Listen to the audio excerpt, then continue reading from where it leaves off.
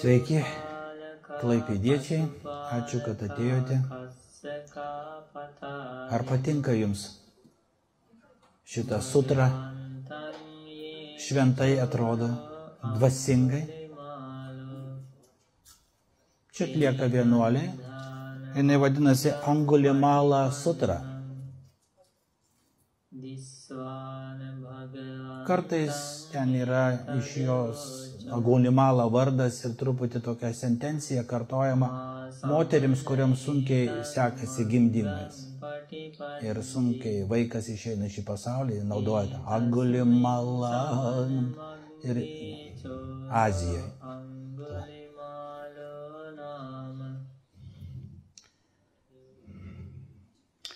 Mano vardas Bauhenk, platus veiksmas arba Kestutis Marčiulinas. Ir šiandien kalbėsim apie tą kalties jausmą, bet ne taip, kaip jūs suprantate, ir ne taip, kaip aš suprantu. Agulimala sutra, kurią dabar girdėjote, tai yra tai, kad šiandien šviečia saulė. Nu, bet buvo ir lietus, netgi ir sniego buvo klaipėdoje. Ar teko matyti?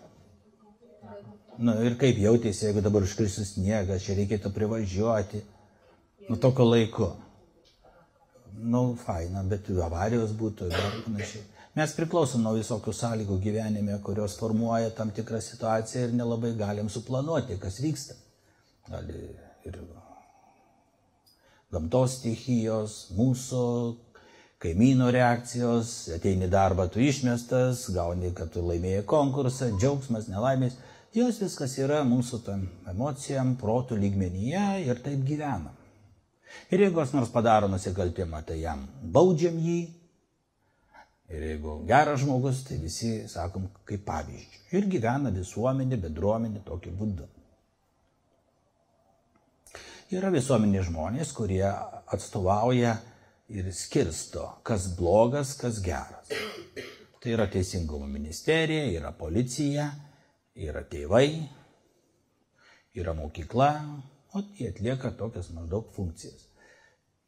Tas padarė kažką tai negero, vadinasi, jisai negeras. Tada jį izoliuojam ir jo neprileidžiam, kad mums netrukdytų gyventi. Aišku, kiti daro slapčia ir, na, nu, nepagautas, nevagis. Nu, taip ir gyvenam.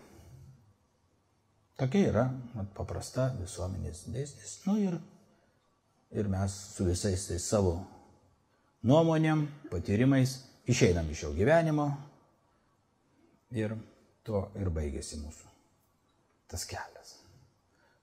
Bet kažką tai mes nubaudėm, kažką ištrėmėm, kažkam padarėm, nubaudėm už negerus darbus. Gerų darbų tai mes nelabai prisimenu, tik tai blogus, jeigu atgal kas ką, kam blogų padarė.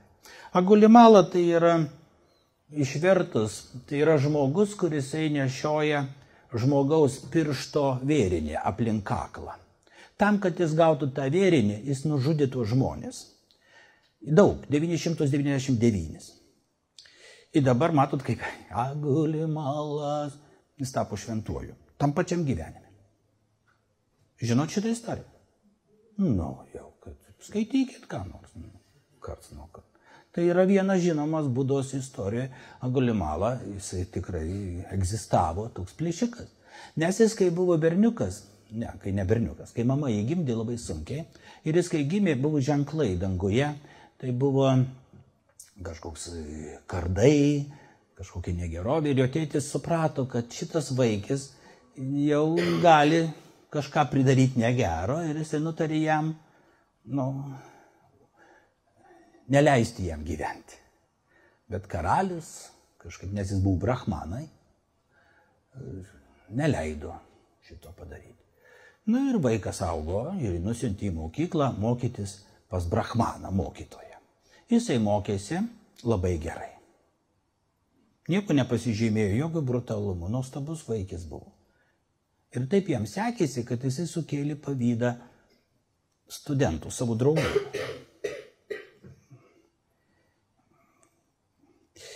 Nu kaip jis gali taip gerai mokytis, o, o jie nelabai. Ir mokytas jį mylėjo tas brahmanas. Tada jie nutarė, čia labai įdomu tokia situacija Azijoje, jie nutarė duoti specialią arbatą tam mokytojui, kad jam truputį neaiškus pasidarytų protas arba jisai išprotėtų. Tai čia įvairiai šaltiniai rašo, nu, rašo, kad jis išprotėjo. Ir jisai pasižiūrėjo į tą, o Agulimala turėjo vardą Ahimsaka, nes tėvas numatęs, kad jis kažką gali pridaryti šitam gyvenime, pavadino jį Ahimsaka. Ahimsaka tai reiškia nedarantis niekam blogo. Tam, kad jis nedarytų to blogo, jo, kai duoda vardą, labai svarbu. Vardas labai svarbu pagal žvaigždės ir pagal tai vardo davimas labai svarbi tokia procedūra. Tai va, jisai buvo Ahimas sako.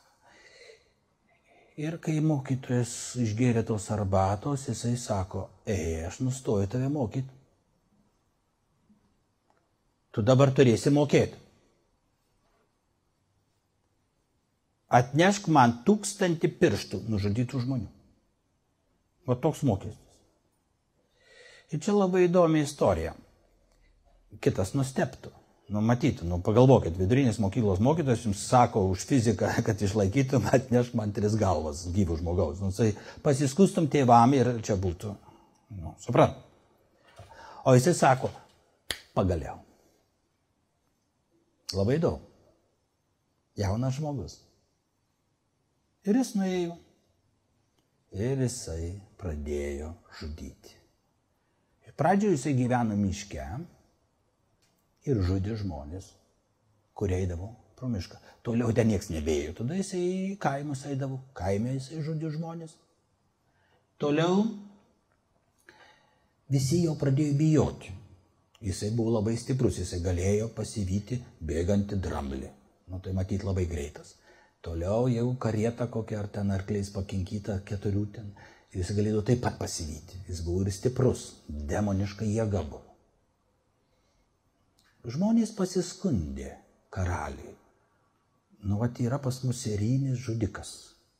Mūsų apylinkėse žudo ir ant kaklo. Iš pradžių jisai tuos pirštus kabino ant medžio.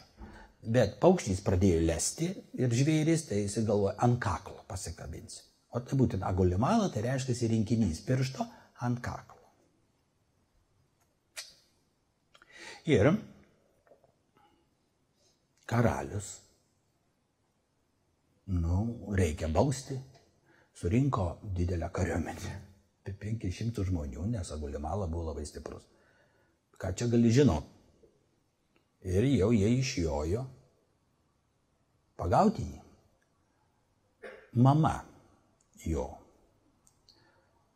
Nežiūrint, kad sūnus nužudė 999 žmonės, vis vien jinai mylėjo savo sūnų. Nu, mama yra mama. Ar taip? Nu, visos lyčia. Nu, mamos, tai kaip čia tokio sūnų turėti, a? Nu, man. Tai jinai atėjo, surado jį pranešti, kad karalius pasiunti didelę kariauną, norint užmušti jį. Arba pagauti, nubausti. Nusikaltėlisgi. Ir jis eina ir pas jį jau 999 pirštai ant kaklo. Trūksta vieno. Ir mato mamą priešais. Dabar galvoja, trūksta vieno, aplink žmonių tai nėra jau, sunku jam suras, nes visi bijo jo. Čia kaip tik vat, mama ateina ilgai svarstęs, o gal ir trumpai, nutarė nužudyti mamai, paimti paskutinį pirštą. Mama sunelį, o jisai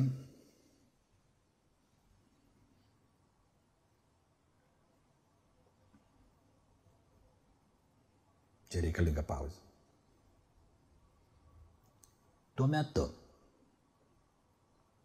Buda jau žinojo apie šitą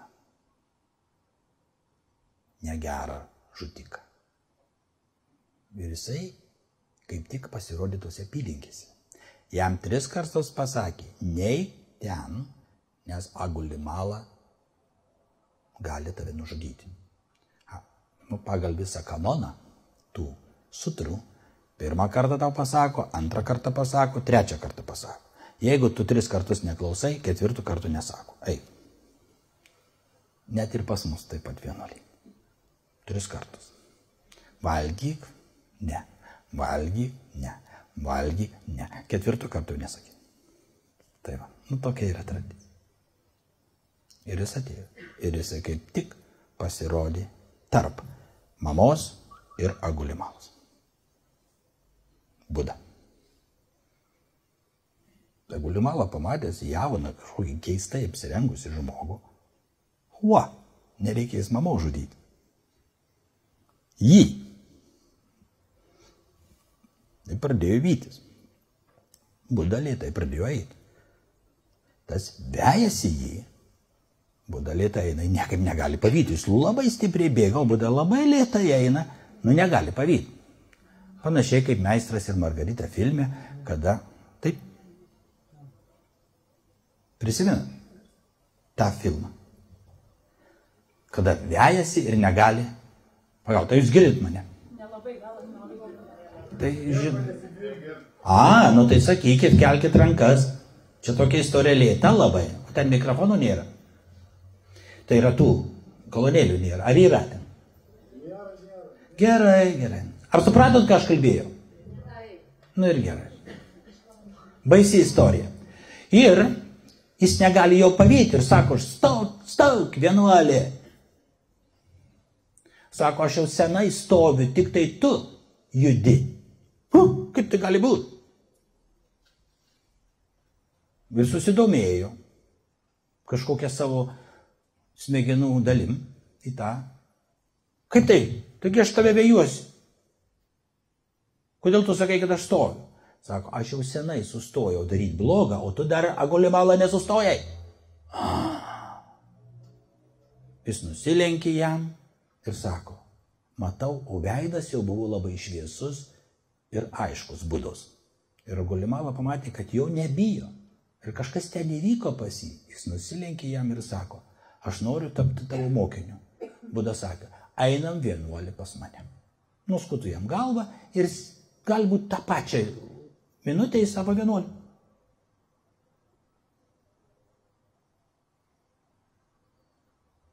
Taip kaip lyg niekur nebuvo. Lyg tai ir tų 919 nebuvo. Ir Buda nė jokių priekaištų jam. Baig daryti blogus darbus. Gerai, gerai. Eina pas mane. Jokių problemų. Ir pradėjo jį mokyti. Bet tuo metu karalius susvita vis dar ieško to negero, jis nieko nežino. Ir į tas apylinkės jis atvyko, nu, kai atvyks į apylinkės, tai reikia aplankyti dvasingą mokytoją. A, tai tuo metu buvo Buda. Ir atvažiavo pas tą Budą su visų kareiviu, Buda sako, kas čia atsitiko, kodėl su didelė kariauna pas mane atvykai, gal kokį karą skelbi kokiai karalystiai, gal e, karalius koksai tau blogą jį padarė, gal kažkodėl čia visi ginkluoti, sako, mes gaudom agolimalą, baisų žudiką. Mhm, matai. O jeigu agolimalą dabar būtų nusiskutęs galvą, sėdėtų šalia manęs ir jau duotų įžadą daugiau nieko nežudyti, ar jūs ir toliau norėtumėt nukirsti jam galvą? Tada karalius sako, ne. Jeigu jisai sėdėtų, tai aš jam net nusilenkčiau. Nu, tais laikais, kai brahmanas darydavo blogus darbus, negalėdavo jį nubausti į kalėjimą, nes brahmanai jie būdavo aukštesniais kastas. Tai čia truputį jam leisdavo biški pažudyti, paskui jau biški per daug gal buvo. Jeigu tai pagal Indijos tas kastas. Tai būda sako, čia šitas žmogus yra gulimala, nusiskutęs galvą, apsirengęs sėdi vienuolį. Karalius kaip jis įsigando, nes jis labai bijojo. Plaukai pasišiaušė, o Indijoje pas jūs tų plaukų labai daug. Tai visi plaukai taip ir pasišiaušė. Tada visi palaukė, kada tie plaukai atgal suguls ir tada būda sako.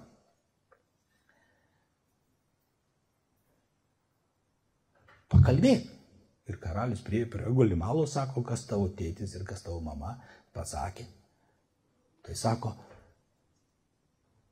džiugu matyti ir aš tau suteiksiu rūbus ir valgį kaip vienuoliui, padėsiu. Nusilenkė jam. Ir būdai pasakė, mes, sako, jį vijomės, visi norėjo jį sutramdyti, visi bijojo šitos galimams, o tu būda per vieną dieną iš jo padarėjai nenusikaltėlis. Tu esi tų nusikaltėlių tramdytojas.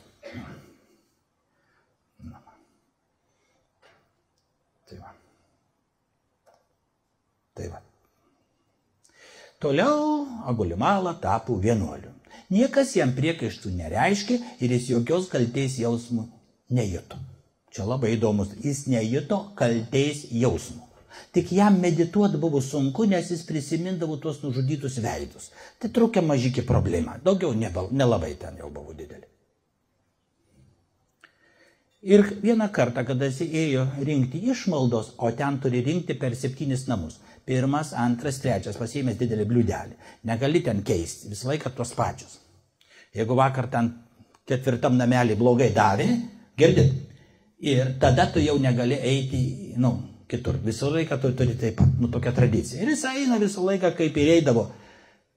Pirmas, antras, trečias. Ir žiūri, kažkuriam tenai jau namelį, šaukia moteris, labai sunkiai gimdo. Ir vaikas gali, nu, būti negyvas.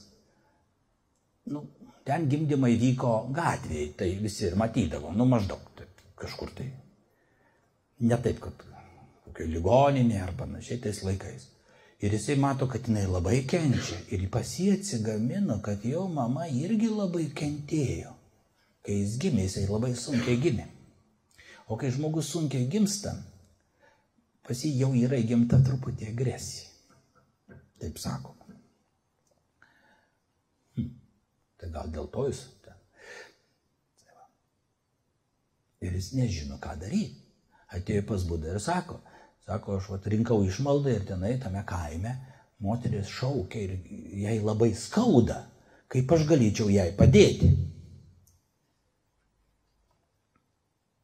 Tai būda sako, tu prieikios ir pasakyk, nuo mano gimimo lygi dabar aš nepadariau blogo niekam, nei vienam žmogui ir sutvėrimui. Būk sveika gimdydama ir lai vaikas tavo būna sveikas. Tokia sentencija, ja? Tai Golimalas sako, taigi netiesa. Nuo gimimo aš esu nužudęs 999 žmonės. Mm, tada būda biški palaukti. Tas laukimas turėtų labai ilgai būti, nes jisai svarbu. Tada sako, tai tu sakyk tai. Nuo to karto, kai aš priėmiau vienuolių įžadus, arba arijus tapau, arba čia vat klausimas, kas ten, aš nenužudžiau ir niekam blogo nepadariau. Būk sveika gimdydama ir vaikas tavo būna sveikas. Va šitą sentenciją kartoja, dabar tik tai aišku, palė čia kalbą girdėjot, kartoja moteris Azijoje, kuriuoms sunku gimdyti. O tą sentenciją jos kartoja, tą mantrą. Ir jisai pasakė šitą. Kai tik tai jisai pasakė moteriai šitą dalyką, tą o, sakinį, skausmas jai dingo ir vaikas gimė sveikas. Ir jis prisiminė tą džiaugsmą, kada jisai gimė irgi sveikas. Ir automatiškai jisai pasiekė tam tikrą dvasingą lygį. Supratot? Ar supratot šitą dalyką? Čia labai svarbus momentas visam mūsų gyvenime. Jeigu mes metam rūkyti, kada? Sausio pirmą. Nuo sausio pirmos tai jau viskas. Nu, kodėl sausio pirmą, kodėl ne birželio 22? Nu, bet sausio pirmą. Darysiu, pasistengsiu, eisiu. Jūs duodat įžadą tam tikroj specialioj dienoj, kur jinai kažkokia pakilėta. Ir dabar nuo tos dienos mes pradėsim gyventi kitaip. Nu ir paskui biški rūkai jau vienas, paskui jau kitam. Ir vėl, nu kas, ai. O jeigu dabar, vat, mano mama, kur jinai numirė, ir aš labai nenorėjau, jinai jauna, 44 metų, man 17. Ir jeigu man pasakytų, klebonas mano kaimo, ar nori, kad tavo mama nenumirtų? ir išgytų. Nu, aš tai jau 17 metų buvau, tai ten daug nereikia. Negerk vyno, nerūkyk. Tu jai ir pasakyk. Nedaryk niekam, nemeluok. Kai tu pasakysi tuos įžadus, tikrai, vat nuo dabar. Kai vakar buvau bažnyčiai ir nuo to laiko, mama, aš nedarysiu to, nedarysiu to, nemeluosiu, nu ir dar. Ir tavo akise, ketvirtoj stadijoje, mama, vėžiu. Jinai nusišypso ir sako, paduokit man arbatos, jis pasveiksta. Hmm? Tai ar jūs nesuvoksite, kad tas įžadas pakeitė jūs šimto procentų? Taigi šokas bus. Ar ne taip?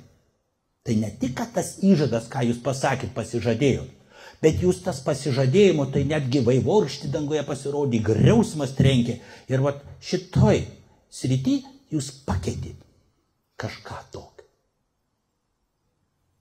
Labai retas atvejis. Labai mažai mokytojų, kurie gali tai pasakyti ir matyti. Gal jų nebėra čia. Deja. Yra kiti mokytojai, kurie tik tai atvirkščiai daro. Ir mums su tų nelaimių daugiau ir daugiau ir daugiau. Žadėk nežadėjęs, kad nėra prieš ką. Tada sakom valia, taip ir taip, nu, egoizmas. Vardant kažko, tai, nu, jau nebent, kaip gydytojas sako, jeigu dar priauksi 5 kg, mirsi.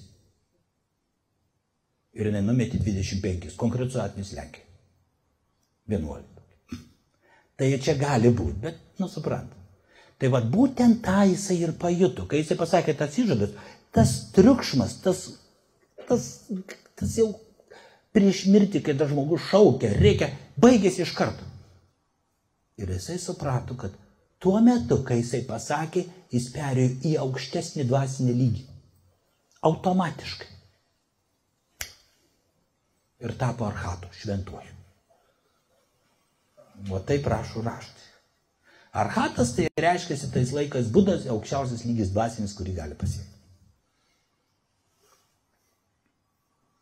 Toliau jisai gyveno kaip visi vienuoliai, bet žmonės, kurie visgi žinojo, nes Indijoje toli nenueisi. Ten gyvenai, ten vienuoliu tapai, vis vien visi žino apie tave. Ir jie sužinojo, kad tas Agulimala yra būdos mokinys. Nu, bet jisai nužudė ir tėtį, ir mamą tenai. Ir tie žmonės susirinko su pagaliais ir palaukė jo, kada jisai ėjo iš mados ir primušė jį. Sudaužė jam dubenėlį, suplėšė rūbus ir kraujuose pasurvės jis grįžo pas Budą. Buda sako, va matai, už blogus darbus ir atmokėti reikia. Keistai jisai pasižiūrėjo. Nu. Bet niekada Agulimala neatsiprašė ir nejuto kalties jausmų. Ir nieks jo iš to nereikalavo.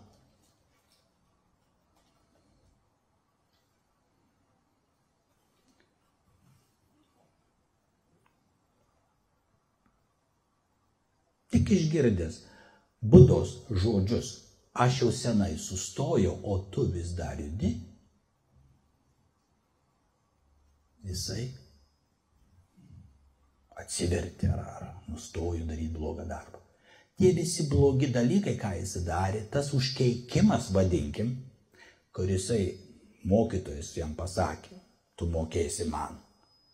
Ir jisai, a, pagaliau, tai buvo tam tikri karminiai dalykai, kuriuos pataikė ir kiekvienas žmogus turi savyje blogio sėklelę tokį.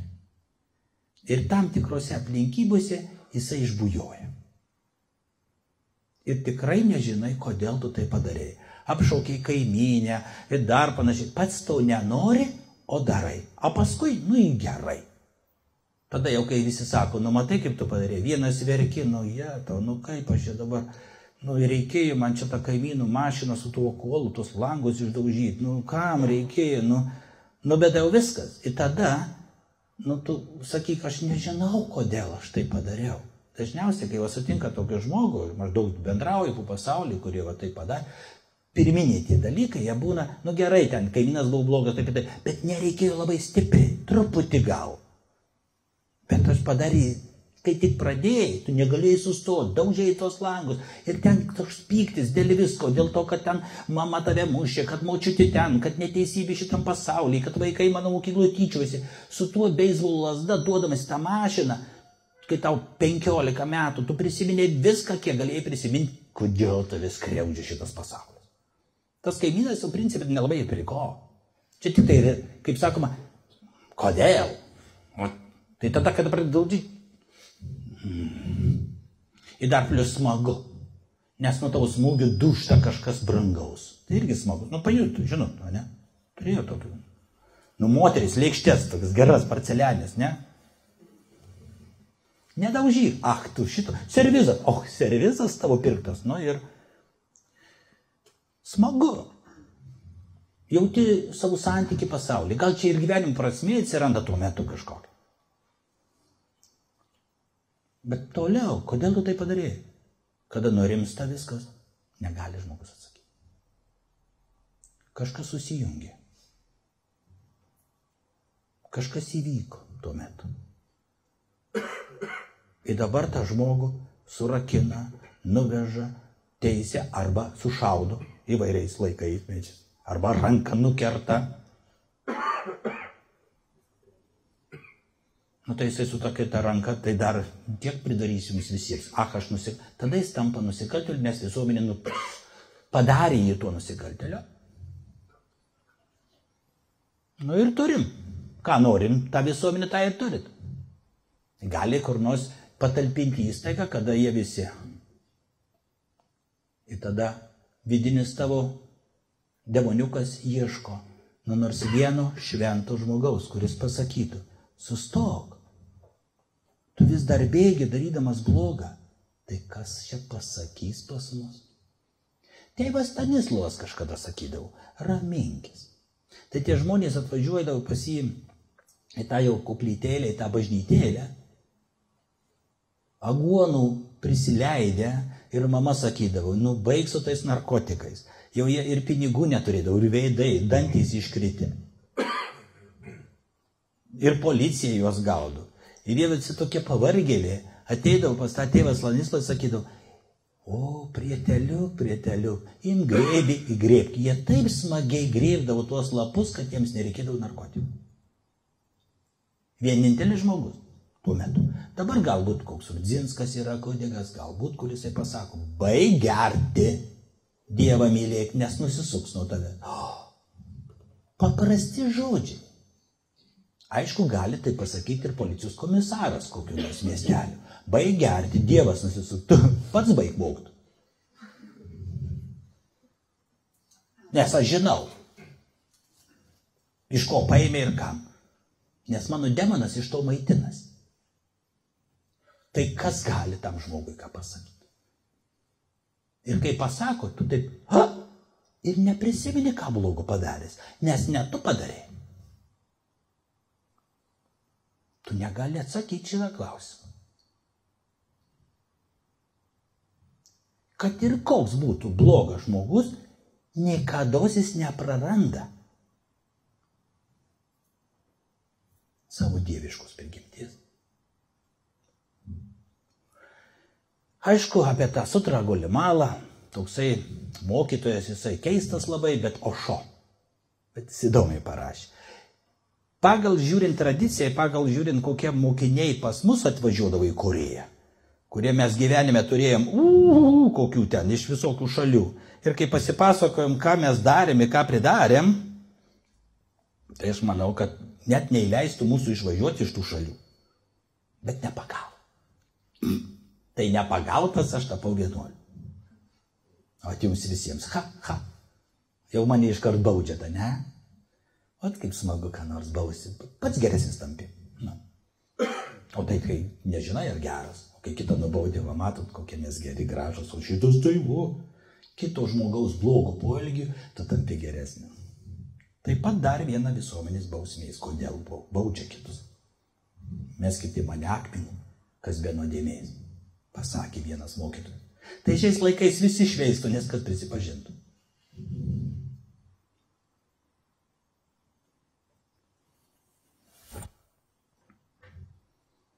Tas aušom. Taip įdomi, nežinau iš kur, aš neradau tekstų. Šitų tekstų nelabai, bet šiandien norėjau. Aš tą kalbą sakiau Korėjoje. Mano zenmeistras Debongzonimas, jisai negalėjo atvykti į Hvageisa šventyklą, kur aš esu Seulė. O aš ten dabar vyriausias vienuolis. Gavau tokį darbą, aš ten prižiūriu, medituoju. Bet meistras turi atvažiuoti ir sakyti pagrindinį salį kalbą. Vieną kartą į mėnesį. Ir jis kažkaip, ai, neturiu laiko, ar dar. Tai jis man sako, tai tu sakyk. Nu, aš tai, taigi, taigi jis mano mokytojas, zenmeistras, tai kaip žmonės mane akmenim apmėtys, kas čia dabar? Tai reikia užlipti ant tokius pakilos, panašiai, nu, vat, nu, teko man du kartus taip sakyti, aš labai jaudinuosi, tai sakiau, va šitą, Azijos žmonės supranta šitą. Va. Ir tas Ošo, jisai, va, Buda, kodėl tu šitą nusikaltelį priėmėjai į savo tarpą? Jam sako, koks nors princas praeivis. Nu, visam klausimas jums irgi iškilo. Nors jums jau vienodai rodo, čia kažkokia nesąmonė ir tiek. Tai va. Bet tais laikais vis vien buvo klausimas. Tai būda sako, jisai drąsus žmogus, vienas prieš visus.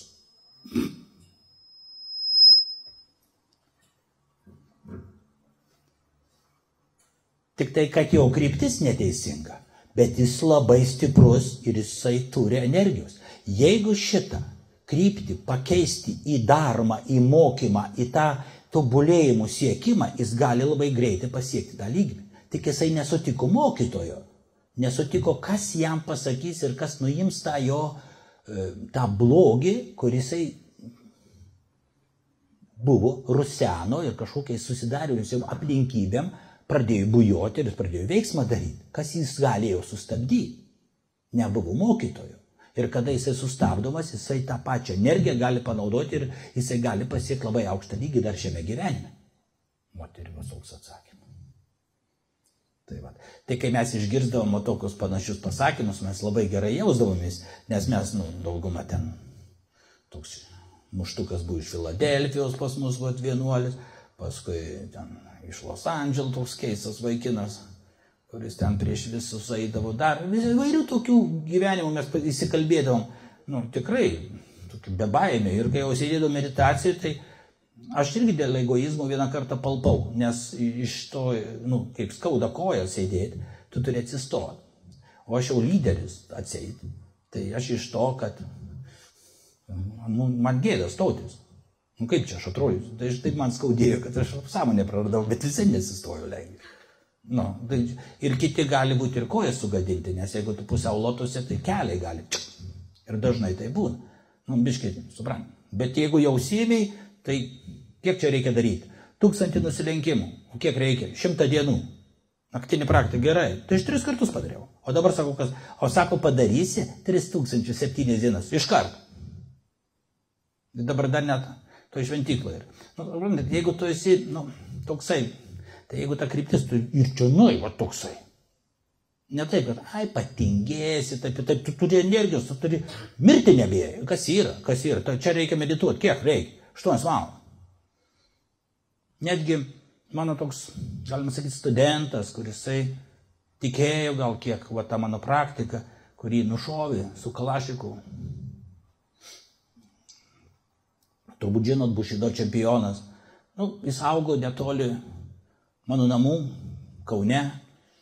Mano duktė jį pažinojo, aš turiu dukterį jau prieš vienuolystę ir pas mane nūkė 17. Ir, nu, jis gavo, nu, nu, nu kiemo vaikai. Tai kaip auksa, tai vieni ten eina, kiti ten, nu, ir iš kiemo vaikų tampa kažkokie, nu, nu negeriai. Ja? O jisai treniravosi labai geras sportininkas, bet vis tie jam draugai ir panašiai.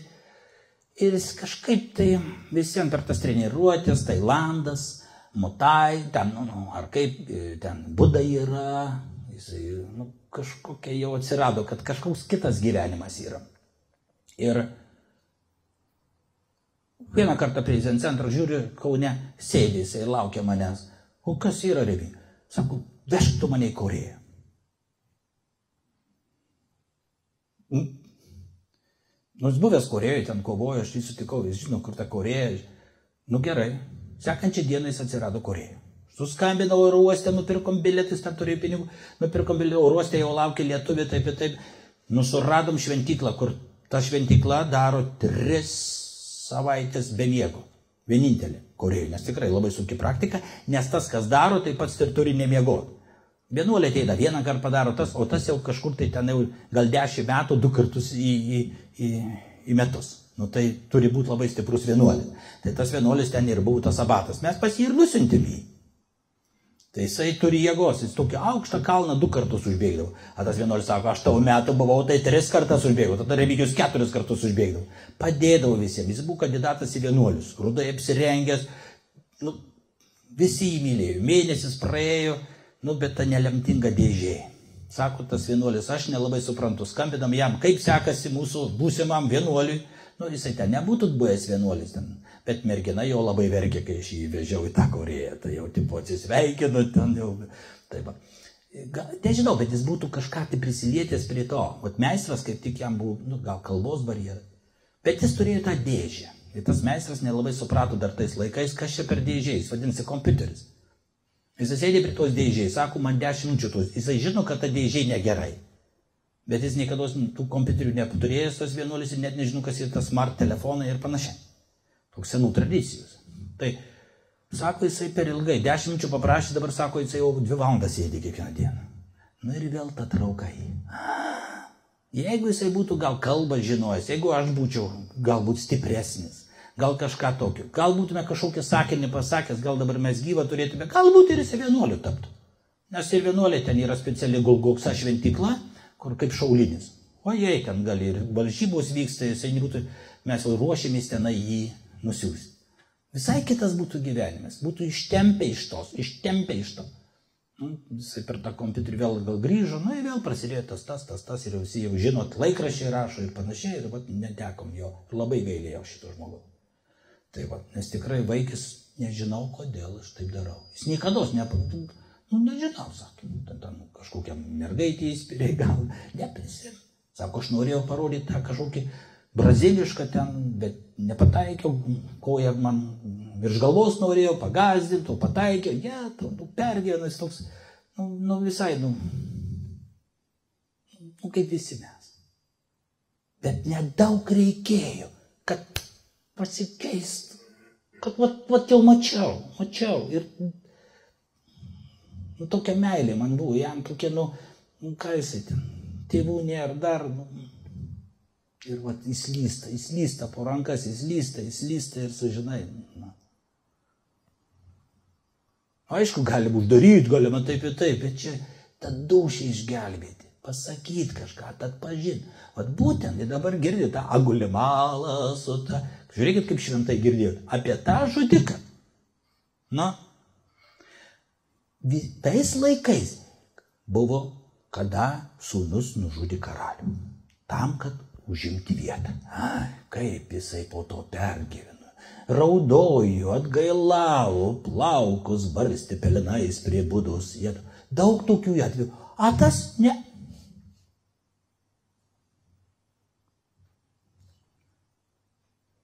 Aišku, dar vienas buvo, kuris irgi brahmanas tais laikais ir jis, nežinom, kažkokiam sąlygom paragavo žmogienos. Šiandien labai įdomi paskaitai, ne? Nežinau kodėl, bet jinai jam labai patiko. Jie tau. Ir jis tada nuėjo į mišką ir pradėjo žmonės žudyti ir valgyti tą mėsą. Jų. Nu, čia tokia istorija. Bodhisatva tai yra aukšto lygio dvasinis vienuolis. Toksai. Sutiko jį ir pasakė jam kažką, bet nežinau ką. Bet ir jisai. Uh, ir neprisimena, ką jis darė. Nes ne jisai darė. Nu, supratot. Duok žmogui kokią tabletę ir jisai čia pridarys. Tai dabar, tai, nu. Būna ten. Nenoriu daugiau gilintis tuos blogus dalykus. Taip. Ir jis neprisimena. Ir nieks jau, jisai kaltės jausmų ne, ne, ne, jokios nejuto, tik tai jam biški kažkaip, vat, ką jisai toliau valgydavo, netitiko tą skonį. Vat, ankstesnis skonis buvo geresnis, tai jis nelabai suprato, koks. Tai, va. tai tokia biški komedija. Ja. Bet irgi nebuvo kaltės jausmų. Kaltės jausmas. Mes visi esame nuodėmėje. Sužinočiau, ką jūs vakar. Na? Na? Jūs kartu čia, ne? A? Nu, neraudonuot. Čia, žinai, čia asmeniški dalykai. Bet, bet jeigu žinot, tai jeigu mūsų mintis žinot, ateis laikas, kada jūs mintis aš nuskanuosiu ir matysiu, ką jūs matot, ką jūs matot. Jūsų implantas, mano implantas. Nu, baig šitą apie mane galvoju, pažiūrėk. Skalės rodo trys, aš kad blogai, raudona galbūt geriau, ketvirta aš tave dušaučiau. Nu, baig. O taip gražiai atrodo, o mintys kokia. Ir taigi normalu. Ir aš dabar tuo naudojusi, kad jūs valdyti. Ei, jūs! Kalti esat, kad gimė. Nuodėmingi esat iš. Ir viskas. Nu jo. Nu tikrai. Jo nešvarios mano mintį. Ir viskas. Ir aš valdau. Vienintelis dalykas padės jums išeiti iš šitos nuodėmės. Vienintelis tik tai. Coca-Cola maksimui. Išgersit ir žinokit, pasijusit geriau. Nuodėmėjai. Kaip gurkšnis gurk. Ir kaip į tualetą nuėjęs šalas. Ir visi kaip, ką tik gimė. Coca-Cola. Tik 2 eurai. Akcija šeštadienį sekmadienį. Gali net tokią reklamą išgirsti. Dėl to, kad ir žinokit, jeigu jūs išgirsit, nu juokas, juokas, bet kažkur tai pasąmonė eisit pirkti, nes pagavo už kažkokių žaizdelis, nes labai marketingas didelis. Nes aš skaičiau paskaitą apie marketingą, tai tie pardavėjai dabar panaudoju šitą. Nu, daleisk. Taip. Kaip parduoti nereikalingą daiktą, taigi yra tokie mokymai. Tokios psichologinės studijos.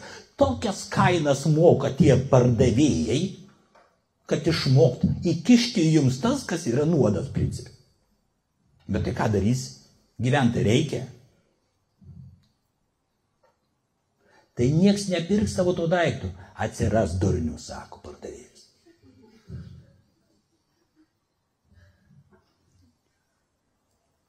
Kaltės jausmas vienas didžiausių stabdžių dvasiniai praktikui pas mus vienuolinė. Taip. Aš susapnavau kažkokį sapną negerą, kokius gražuoliais ten buvo, kažkas įvyko per tą naktį, vienuolis. Jie tau gėda, nieks nematė. Bet jau man mintis yra tokia, nu, karma, negaliu kontroliuoti. Bet jau medituoti jau man iš pačių rytų, nu, neišeis visas prakait, nu, nu suprantam. Kaip tam agulimalai. Kai jisai pasakė, ta moteris, jinai pasveiko tą vaiką pagimdė, jam daugiau nebesivaideno tie. Nes jis dėl to tą dvasinį lygį pasiekė. O man, vat niekaip, nu vis paveiksliukas tos nakties toks aiškus. Įvairių jų gali.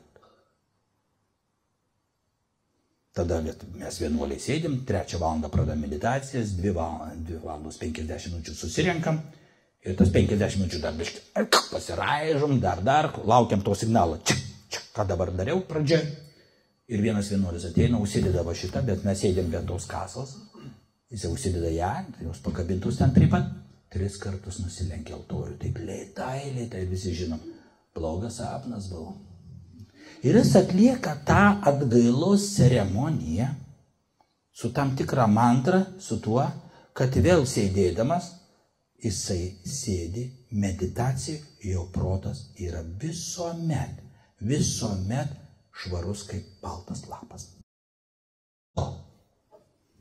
Puršk dezorantų, nesipuršk savo kūno. Praustis reikia.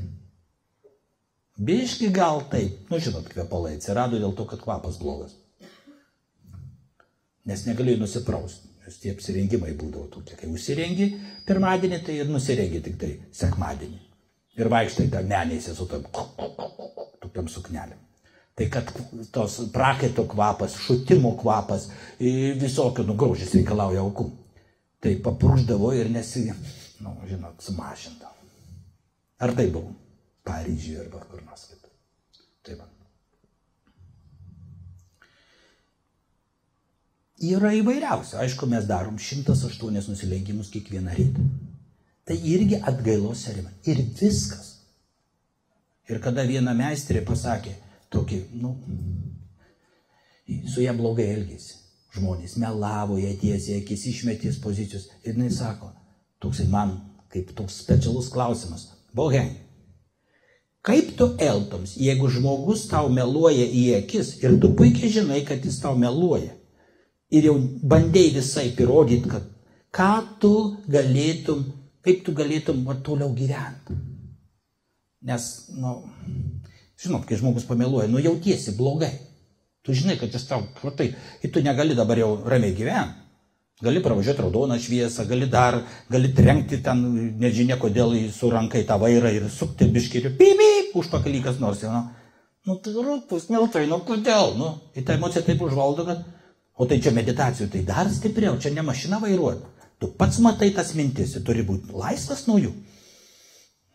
Tai kokį velnį tada vienuoliu tapau, jeigu aš su to mintim sėdėsiu vienuolynė, palikęs Lietuvą, dar kažkokius savo artimus žmonės ir dabar sėdėsiu su visais, kad čia rūpužiai jam atkeršyt, ką aš jam padarysiu, nu tai jau tada jau nu, geriau tu važiuok namo. Nes nemeluok savo, pirma išdava yra, kada jau pradedi praktikuoti.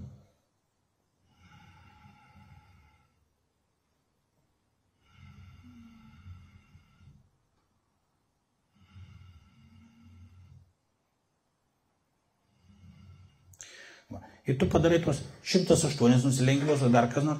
Ir, ir viskas. Ir ta mokyta klausia, tai jeigu tau meluoja, ką tu dabar padarytum? Atsakymas labai paprastas. Mes turim tokią mantrą. Kvanse, bozal, kvanse. Arba maldelį, sveika, arba kažkokia. Viešpas mato, arba dar, nu, priklauso nuo tų. Pasakė ir viskas, tu negali nieko pakeisti. Čia ne tavo.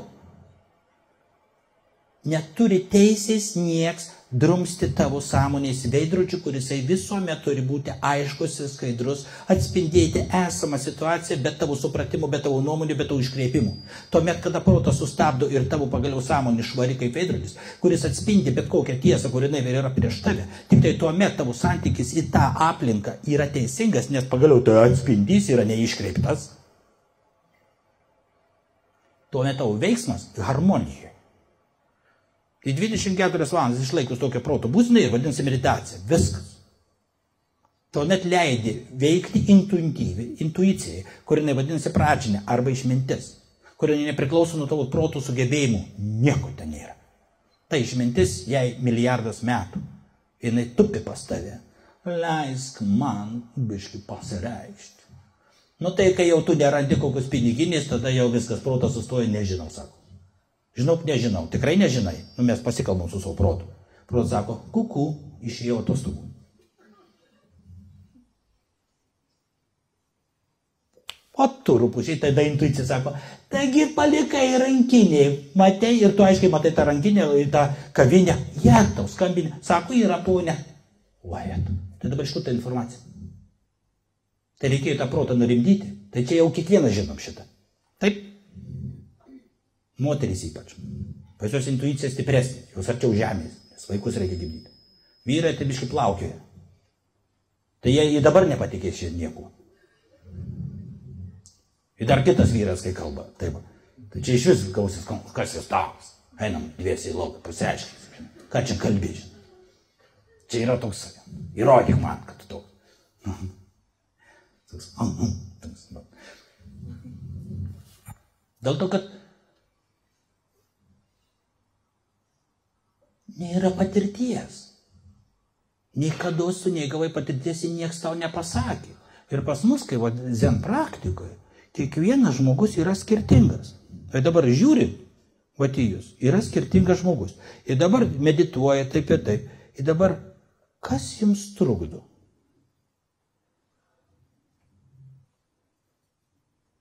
Kiek kainuoja tas pirštas, ponė?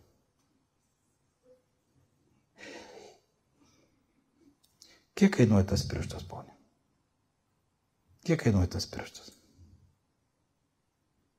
Hm? Jūs patraukit pečiu ir nusišypsojot. Jūs nusišypsojot ir biškai patingėjot patraukti pečiu. Jūs visai be jausmų buvot. Vienas klausimas, skirtingi atsakymai. To man pilnai užtenka, kad aš žinočiau, kas yra. Nes jūs pas mane dabar būsite tris mėnesius. Ir aš žinau, kas bus, kaip bus, kur bus. Tai va. Ir tada, jau tada, mokytojas, įsimatydamas skirtumus, paskiria tam tikrus klausimus, kurie vat ir bus. Nes jūs esate trys skirtingi žmonės. Jūs turit atsinešit kažkokias ingramas, kažkokius tokius trukdymus gyvenime, kuriems jums trukdo būtent, kad tas veidrodis būtų švarus. Tam, kad jį nuvalyt, kad ta sąmonė nekritikuotų, netikrintų, tada, kad jinai būtų švari, skaidri, kiekvienu metu aiški, aiškus protas. Jums reikalinga tokia technika, jums reikalinga tokia, principė meditacija taip, bet pokalbėjuose jau bus kažkas tokio. Vienas metodas jums panašiai. Biški, žemesnis jums daug stipriau. Nu ir va, dirbama. Kada jau žinai iš akių, jau gali atspėti. Čia beveik visi. Ir tada išlėto, išlėto tie visi, kurie stabdo tave, kurie nubaigtų, nu, tu negali. Ir tu, ir tu įgauni tos energijos, nes atsiveria tavyje vidinė erdvė, kuri ne tokia, tokia, kaip, kaip dangus begalinė.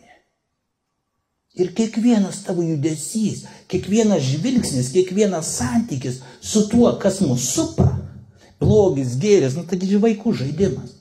Kad ir man. Ateina koksai vagis, atiduok pinigus, duok, imk. Rūbus atiduok, imk. Tai ko sėdi čia nuogas nuliūdęs? Nu, man liūdna, kad negaliu tau ir mėnulio atiduoti. Nu, tokia sena istorija. Iš zenmeistų pakeis tavo gyvenimą, tie mano rūbai, tie pinigai. Taigi tu nesi tu. Tavo sąmonė, tavo veidrodis nešvarus. Ir kada tu pasakai tą mėnulį, gaila, kad negaliu tau dovanoti, tada jis nusilenkia tris kartus ir tampa vienuoliu. Tas vagis, čia tikrai istorija. Nu, pats girdėjau, prisimenu, čia daug metų atgal. Tiksliau, gyvenime. Ir tada labai greitai tu nusimenu visus šitą. Bet jeigu aš sakyčiau, nuodėmė giliai jūsų širdyje, iš pažinties reikėtų ir būti iš pažintis, kur jinai suteikia.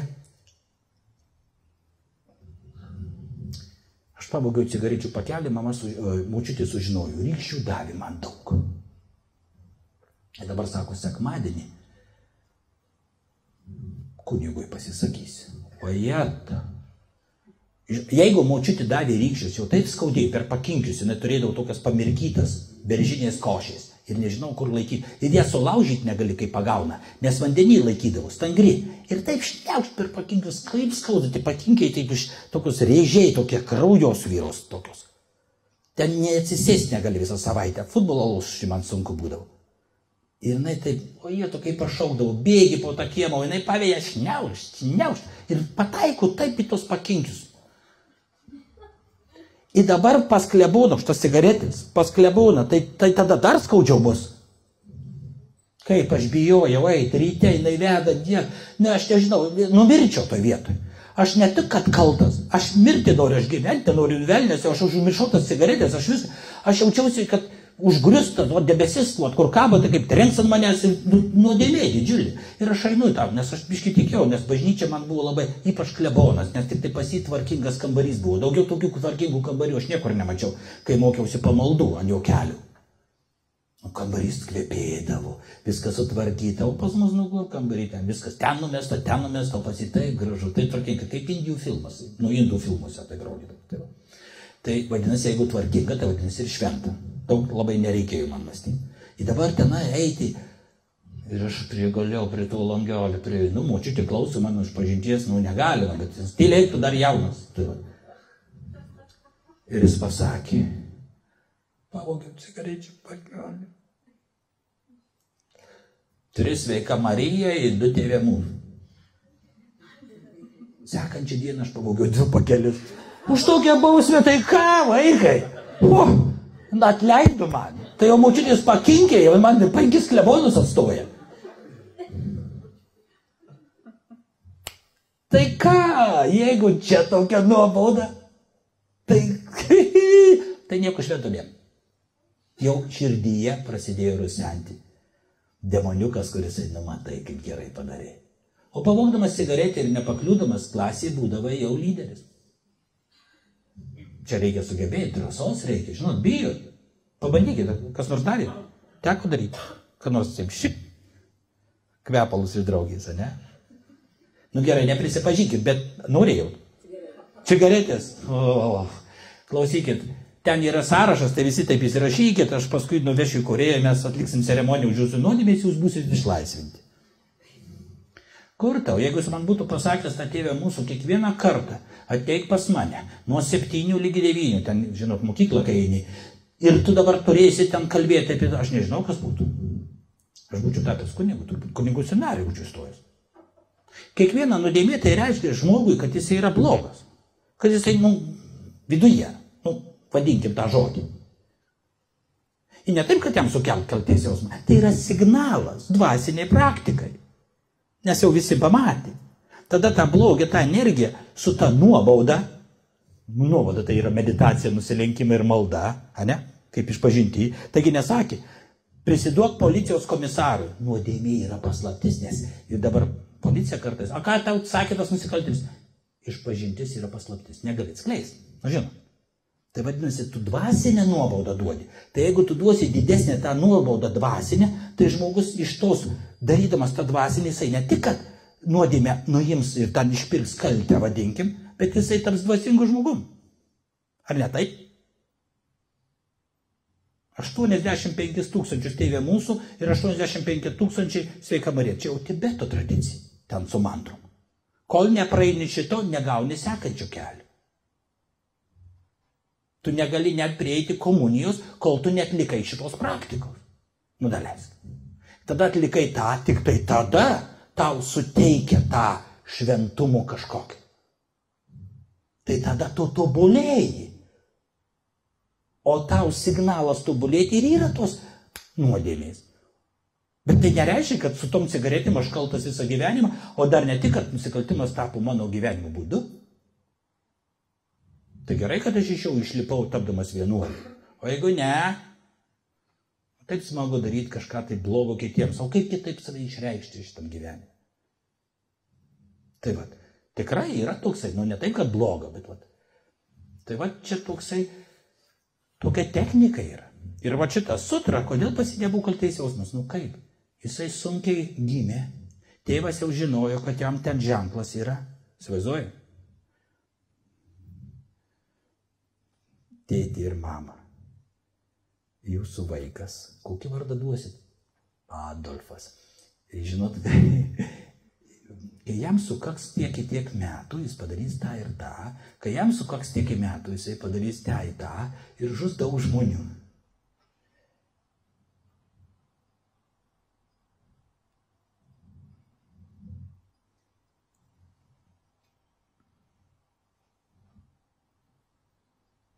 Jisai, nežiūrint į tai, stebint šito blogo žmogaus istoriją, jisai siuntė žmonės į Tibetą ir pas jį buvo tradicijos, nu yra tokia istorija, lamos jam rodė ir jisai kūrė ten tą tikrą organizaciją vadovaudamas su dalykais. Bet pas jį buvo ant krašto kažkas tokio, kad daug nereikėjo, kad jis, na, nu, žinot, nuo diktatoriaus lygi kunigo vienas žingsnis. Čia Singapūrė, ar dar žiūrint tuos diktatorius, kurie va taip, nu, diktatoriai, žinot. Tai jiems lygi to, lygi to, nes va, toks labai įdomus momentas. Tik tai, kad nieks tuo metu va, neįmato šito, neįmato šito. O dėl to, kad įmatyti, nu, tokie žmonės niekam nereikalingi, kurie įmatytų.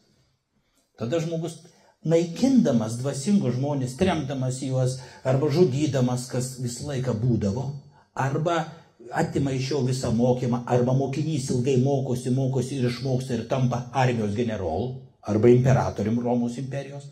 Ir tada sekančią dieną tas dvasingas žmogus zik ir pastato kažkokį kitą ir sako, va dabar jis bus Vatikano lyderis.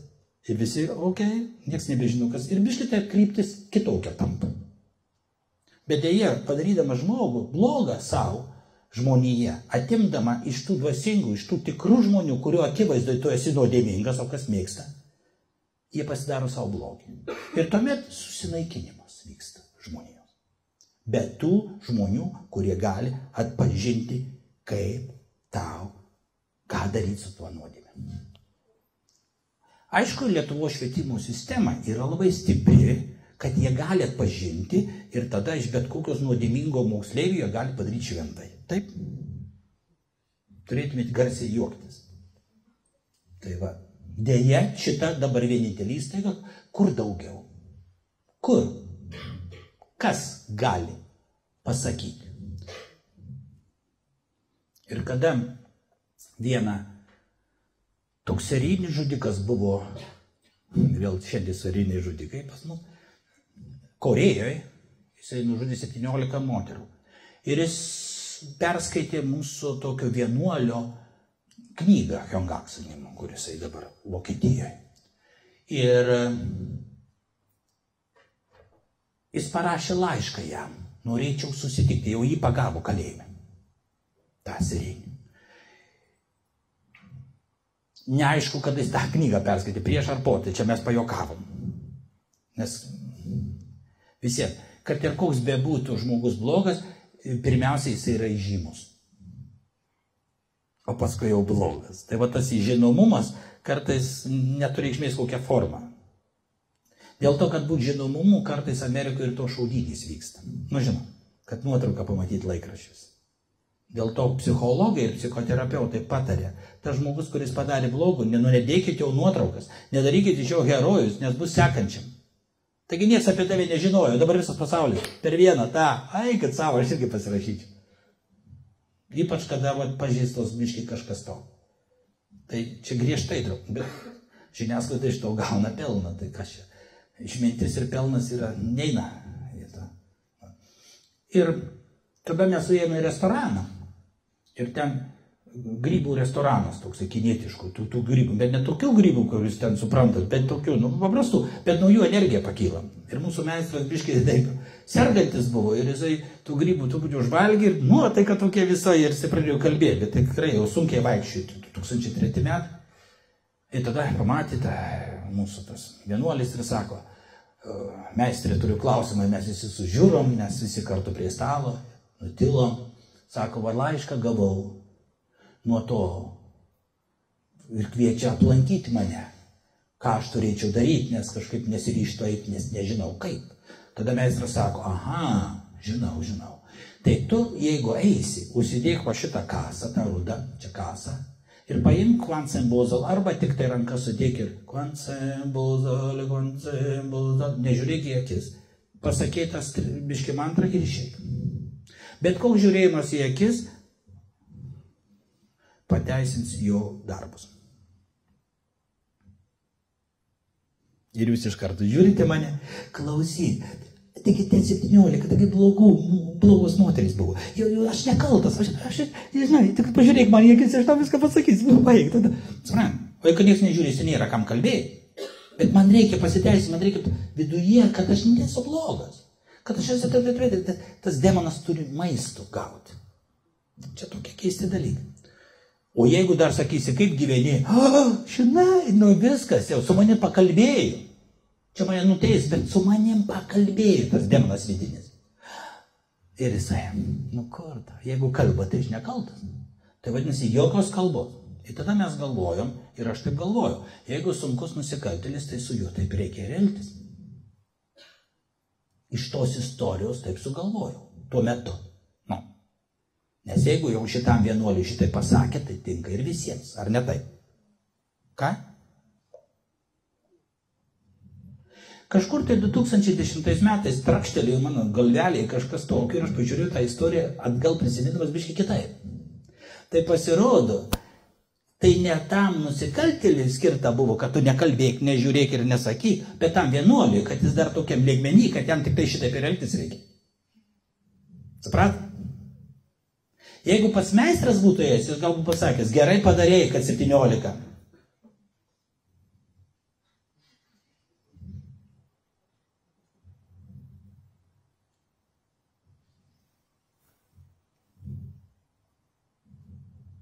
Ir išleiktų rodo nuotraukas. Jau kai jisai, kus čia dabar buvo? Vadinasi, protas jau nebeveikia.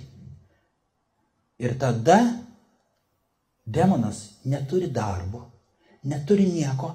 Ir tas, vadinkim, atgaila, tas vajeto, kažkodėl tas kaltės jausmas, jisai ne tai, kad tave veikia, bet tu jauti, kad tavo viduje tas, kas tave kontroliavo, kas tave darė tos darbus. Jie tau, nu aš nežinau, kodėl padariau, nu man ten, nu, nu kažkokia ten moteris tave išdavė ir prasidėjo. Nu, dalės, maža kas ten. Tie impulsai, o paskui jau ten visokie. Ir jisai negauna maisto. Ir kada tu matai tas nuotrauką vieną po kitų, tų 17, tas, nu, jisai nežino, kur dėtis, jisai lankstosi, matyti, kaip rankos matai, na tai, nu čia filmai tokie būna, ne? Ir jisai visas va taip, jis nebegali, jau, jau 12 pamatė, nu nedaug, džiavė, 13, ne, negali, žiūrėk. Žiūrėk. Labai gerai padarė darbą, žiūrėk. Ir ten jos, aišku, pavaizduotus įvairiai. Ir dar 15 ir 17 jisai tik. Kodėl? Mokytojo, mokyk mane. Ir va tuo metu demonas dinksta. Ir ten gaunasi suglebęs, be odos, žmogelis, kurisai, va, jo dėka įlindęs kažkoks tai žmogus, arba dėl to pas mus yra tas egzorcizmas, kada išvalyta dvasia ir žmogus įtampa, supranta, jis nekaltas, kad jame yra kažkas viduje, o kažkas panašaus. Ir tada jisai Ir sekančią naujieną, ką jisai išgirsta, bežiūrinti tai, atgaila ilga, bet ne kalties jausmas, bet ta atgaila, nu kažkas ten sumušė jį ar dar panašiai, bet per tam tikrą praktiką. Ten aš, pavyzdžiui, dabar blogai kalbu. Nu, nukalbu, netgi online eina. Taigi, nu, nu, negerų dalykų, žinai, pripasako. Tai aš labai jausiu kaltę. Kaltės jausmas man. Aš užmygti negalėsiu eisiu šiandien į barą. Ten bus man, žinoma, po paskaitų visą laiką einu į barą. Niekas nemato, aš peruką užsidedu. Tam, kad, nu, kažkaip jaučiuosi, per daug prikalbėjęs. Bet tai yra ta tikra mantra. Sori, sori, maha, sori, susori, sabaha, sori, sori, sori. Ta mantra įskirta, kuris blogai kalbėjo. Specialiai man. Technika yra tam. Nes visi padaro. Jeigu aš, pavyzdžiui, dabar einu į namus ir tenai kažkas tai to nergia man negerai, dar panašiai, jie tau tuose namuose buvo, čia kažkas tokio, žinot, negaliu būti. Kažkokia, arba aš kažką pridariau, tada om nam, om nam, om nam, om nam, om nam, valymo mantra. Nežinau, kas yra, mat, kažkaip susuko man tą šoną, kažkaip negera pasidarė. Kas čia yra, ko čia žiūri dabar? O jie, to kodėl aš tai pasakiau? Nu, dėl to, kad man kepenis skauda, aš nu, namo noriu čia man pasitaikyti. Tada om čirim, om čirim, om čirim, om čirim, om čirim. Ir ta mantra neleidžia man emociją sukelti iš to, kas viduje. Vat tada gauna tą mokymą. Ir jisai galbūt, būdamas uždarytas, jau neturi išmės, kur jis dar gali šiaip gyvenime. Tai ką kalbėti, aš dabar gavau tokį klausimą, kaune, Ar žmogus gali, kada smegenys jau, jau atrofavosi, dar panašiai, ar jisai gali kažką tai pasiekti dvasinį lygį ir panašiai. Kai žmogus miršta, mes 49 dienas darom ceremoniją. Jau jo nebėra, bet tu darai 49 ceremonijas, kad jis pasiektų tą aukštesnį lygmenį. Namo amita, bulcing sing on ami. Ir darai tą, vedi kiekvieną septynias dienas, septynias dienas, septynias dienas, lygiai Jau tai nėra. Kam tu tai darai? Nu nėra. Nu jum tai daryčiau. O sakė, da kartu dabar darom. Kas yra? Aha. Darbą sunku susirasti. Gerai, jokių problemų. Galite paragauti, mes matėte stiprinti valią, taip ir taip. 21 darai, iš karto susirasi to, tokį darbą, kad... Tai va. Ir kiti sakys, o kaip čia tau pavyko, eik pas 11, gerai, jokių problemų. Taip va. Čia yra tokia. Tai Kiekvieną žmogų reikia apkabinti, nežiūrint, koks jis yra. Kiekvieną žmogų reikia mylėti. Dvasinė praktika yra tuo, kad jinai leidžia tau pajusti pirmas toks rezultatas tavo jogos, bažnyčios įėjimo ar, ar šiaip savo visokių, kokių dabar čia aš net nežinau visokių yra. Tai pirmas rezultatas, kad tu teisingai kelyje, kad tu jauti bendrumą viso. Viso pasaulio bendrumą. Ir medžių bendrumą. Ką ten kalbėti, kirsti medį, o jie. Tai va, tu, tu jauti tą bendrumą. Tai va pirmas toksai. Toliau širdis atvira pasidaro. Ir pas mus yra širdies sutra. Žinot širdies sutra? kada nėra jausmų, nėra širdies, nėra proto, nėra ateities, nėra mąstymo, nėra mirties, nėra mirties. Nu, tokia da, da, da, da, da. Žinot, ba, ba, ba, ba, ba. Kartais mes ją kalbam net nesuprantama kalba mums. Kartais vertimas lietuviškas vyksta, kiekvienom vienuolynė. Ką reiškia ta širdies sutra? Kai nieko nėra, dėl to širdies sutro ir atsirado dzin, o ne dzen. Nes kai nieko nėra, tai man dzin. Supratot? Tai dabar žiūrėkit, aš praktikuoju tą sutrą. Nu, jinai turi pagri, paskutinę mantrą. Gatė, gatė, paragatim, arba adžia, adžia, paradžia.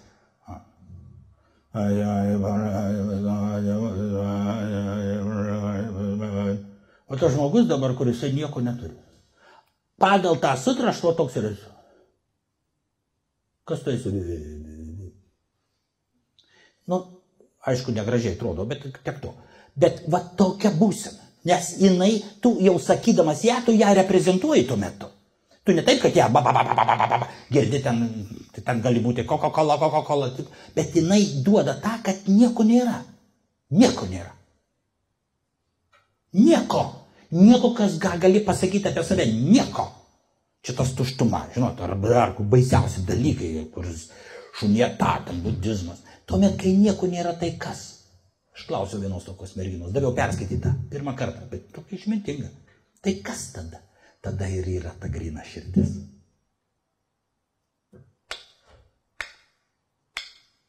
Ir nekišk savo nuomonės į protų į ją. Jis tūkstantį kartų už tave žino, kaip elgtis. Grina širdis.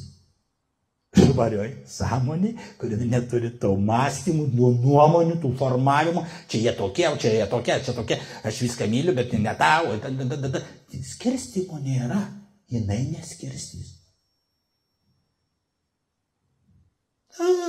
Vaikas verkia, eis pas tą vaiką širdis ir paglosys galvelį. Pamatys, žmogus pinigą prašo, širdis netikrins, padės arba apkabins. Ten nebus, ei durniau, dirbtai. Taip, gal ir pasakys, bet nepasakys apkabintam. Gal tu į darbą susirask, neduosiu aš tau pinigą. O gal biškai tai per užpakalį sudus. Bet tu net, ir kada tu darydamas tą praktiką, tas demonas tavo sustojo. Aš dabar turiu vieną draugą, o šiandien. Jeigu jisai čia ateitų, žinokit, aš geras žmogus, bet jį tai primuščiau. Jis man padarė tokį blogį, kai aš buvau 17 metų. Aš dabar vienuolis, bet jeigu rimtai, jau kalčiau, žinokit. Vat jam tai niekada net leisiu. Jis ir, nu, aš žinau, jis man padarė. Nereikia čia man aiškinti. Nereikia man aiškinti. Okay? Aš, aš šventas žmogus įskyrus jį. Su juo aš ne. Ir kada tu darai tą gatę, gali, ir pagaliau tas žmogus ateina. Nu, norėčiau duoti. Žiūriu, man rankos jį atkabino. Aš pats stebiuosi ir sakau, kaip tu laikaisi, Jonai. Nu, rūpus miltai, nu ką aš čia dabar nesąmonės, mano prūdas sako, duokis, nu, o kažkas tokio širdis, jaunelį, einam arbatos gert, nors savęs net pažįstu. Šita mano širdis, ta intuicija, ta, tas santykis, tas tikrasis, ta grina širdis tūkstantį kart stipresnė už mane, kad paralyžiuoja mano blogą, tą vadinkim, veiksmą. Ir demonas pas mane tik tai, nu, kažkur tai prote ten griuvėsiai likę, kurie tokie, nu niekaip neišėda. Ir kada tu padarai tą pirmą žvilgsnį, jis irgi šitą žino. Ir tada, kada jisai tau irgi nusišypso ir akis pasižiūri jis tau pasižiūri į tą gerą arbatą. Tu matai, o galėjaugi ir padaryti klaidą. Ir tada eini ir nusilenki mokytojui tuo metu, kada tu santykė su kitu, ne vienas, ne kažkur, o tik santykė su kitu, tu atpažįsti, kaip tu dvasingas esi ir ką veikia tau ta praktika. Su tais lot. Ir tada tu, nu kur tu įmatysi blogį? Ar gėrį? Net neegzistuoja. Ten ta paskliausti, kur jinai buvo, jinai nueina kažkur kitai ir tu matai tik tai tai, kuriame nėra. Jame yra tik tai kiekvieno žmogaus išlaisvinimo galimybė. Ta, ką tu irgi kažkur tai eini. Tai džiaugsmas, kaip tu sėdi meditacijai su šypsena, kad pagaliau, ir dėkoju tėčiui ir mamai, kad tave pagimdė, kad tu galėjau pagalingai su tų kūnu daryti nors vieną kartą, biškai kitokius darbus negu tas cigaretės. Tai tu, tu matai ir kitame tą pačią galimybę, nežiūrint koks. Tai čia yra ta širdis bendravimo. Tam mes ir skirti, tam mes ir įgavom tą kūną. Na, galbūt va taip sėdėti. Nes Krišna Murtis pasakė, pati meditacijos poza tiesi nugarą, taip ir taip, intelektuali poza. Na nu, gerai. Jis nukalbėjo biškai gal vakariečiams pritaikytą, nes jie niekada nemoko tą, ką jie pasiekė, nes nesupras. Tai va. Kita kultūra žmonių kitoks lygmenys. Tai va. Ar supratot, ką norėjau šiandien pasakyti? Ne, ne tavęs klaus, bet ar supratot, ką aš norėjau pasakyti? Pirmas dalykas. Tas, kas daro ir kas sukelia jums tą, nu, žinau, žinau žmonės, kurie turi tokią kaltės jausmą, bet uždėkite tą žvakutį. Jis neturi būti stabdis. Kiek dabar kodėl ta tema ir kodėl aš parinkau tą istoriją? Dėl to, kad aš gaudavau daug labai užklausimų, būtent tokio pobūdžio. Yra speciali technika, kurią padarėjai ir išrink akmenis, sutvarkyk dirbą, įbesk sėklą, padaryk visą tai tvarkingai. O jau ten išauks ar ne, nelabai nuo tavęs į priklauso. Bet tavo reikalas būtent su meilė kiekvieną paruoš dirbą, įdėtą sėklą su didžiulė meilė, nes koriečiai, pavyzdžiui, turėdavo tokią energetiką, kad pas juos agurkai didžiausi būdavo. Nes jie kai pasėdavo, jie išaugdavo dideli labai. Mes galvojam, kad jie radiaciją naudodavo dar tokių viso. Taip, yra žmogus, kuris energetiškai, taoistai vadinosi, jie paliečia tą bulvę, kurią sodinsit, jinai gauna energijos, įdeda ir šau. Ir kai tie koriečiai, va aš pats buvau, E, Tindoj, tenai biškai saudelėje jų būdavo. Tinda tai toksai, kur Bamas, tačiau čia jau Sibirės. Nu, tokia, ten geležinkelio linija, Maskva, Vladivostok. Ir ten tų kuriečių daug. Pas juos visą laiką vaisiai didesni negu pas kitus. Va. Vat jau tas, ta meilė, tas, vat įdedi ne dėl to, kad parduosiu brangiau. Galbūt ir tas, bet Ir paskui jau tu nieko negali pakeisti. Ne apie vaisius kalba, o apie tą tavo proto būsiną, kada tu kiekvienam, kiekvienam, kiekvienam. Tai įsivaizduoju, jeigu mokytojas, kai aš pasakiau, padariau klaidų, nus, net važiavau į savo vienuolio ceremoniją. Nuvažiavau, nu spektaklį pastačiau, bet visiems man mer, mergina ta labai patiko, su jie toliau gyvenau. Negalėjau be jos. Bet atvažiavo, darė ceremoniją, o aš manęs. Atvažiavo vienuolė, ieškot mane, mato. Biški alučių išgėręs ir su mergina gyvena. Na, na, na, na, na. Ir galiausiai taip gavosi, kad gavau leidimą ir nemoku gyventi. Kažkas vat darosi. Ir dabar žinau, kad atvažiavęs vėl meistras. Ir dabar aš važiuoju iš Lietuvos prašyti jo leidimo. Visi jau nusprendė, jo pavaldiniai aukštesnio rango, kad man jau negalima bandyti antrą kartą. Viskas, šitas jau.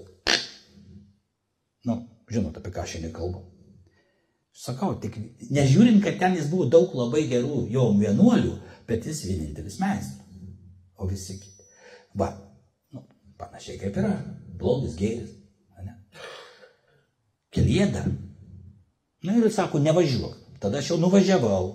Tada sutikau jau sekretorių ir sakau, noriu sutikti meistrą, noriu jau pasiprašyti dar kartą bandyti tapti vienuoliu. Nepriims tave, mes apie tave nusprendėm taip ir taip. Stūksai. Labai aš supratau santykį save, nes jis biški save matė manyje. Žinot, žmogus, nu čia ne, nebegėrima, bet toksai yra pasakymas. Žmogus, kurisai nu, turi problemų, jis pyksta ant kito žmogaus, kuris irgi turi tų pačių problemų. Bet tas biškis susitvarkęs, o tas ne. Ir jisai, nu, agresija atsiranda. nes jis mato savį, save, kitame, kur nenorėtų būti ir pyksta ant kito, kaip ant savęs pyksta. Na, va tokie psichologiniai dalykai čia. Matyt, žinot arba nežinot.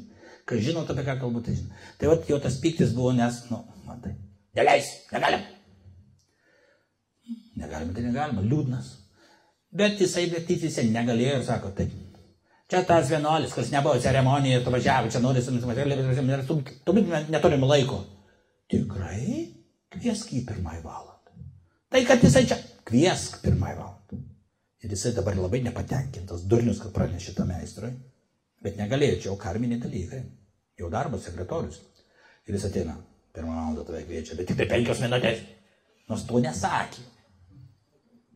Ir galiausiai, jau man širdis. Ir su vertėju, nes aš tam anglų kalbos nemu. Ir tas vertėjas irgi nesien tau nieko neišeis. Tokie visi beveik toks savo, nu, nu, ne taip, kad nieko neišeis, bet pažiūrėsim, kaip tave nubaus dabar.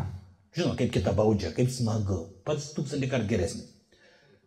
Ir sako, pirmiausia, tai meistras sėdi fotelį, ten šalia fotelis. Ir pagalvėjai, jisai sako, sėskit fotelį. Tai po lygis kaip su lygiu. Tai tas sekretorius, negalima jam ant fotelį, tai man pagalvėlė sėdim. Nu tai tada sėsk ant pagalvėlį, sako, ne. Atsisėdo. Jau pirmas santykis buvo jau toks įdomu.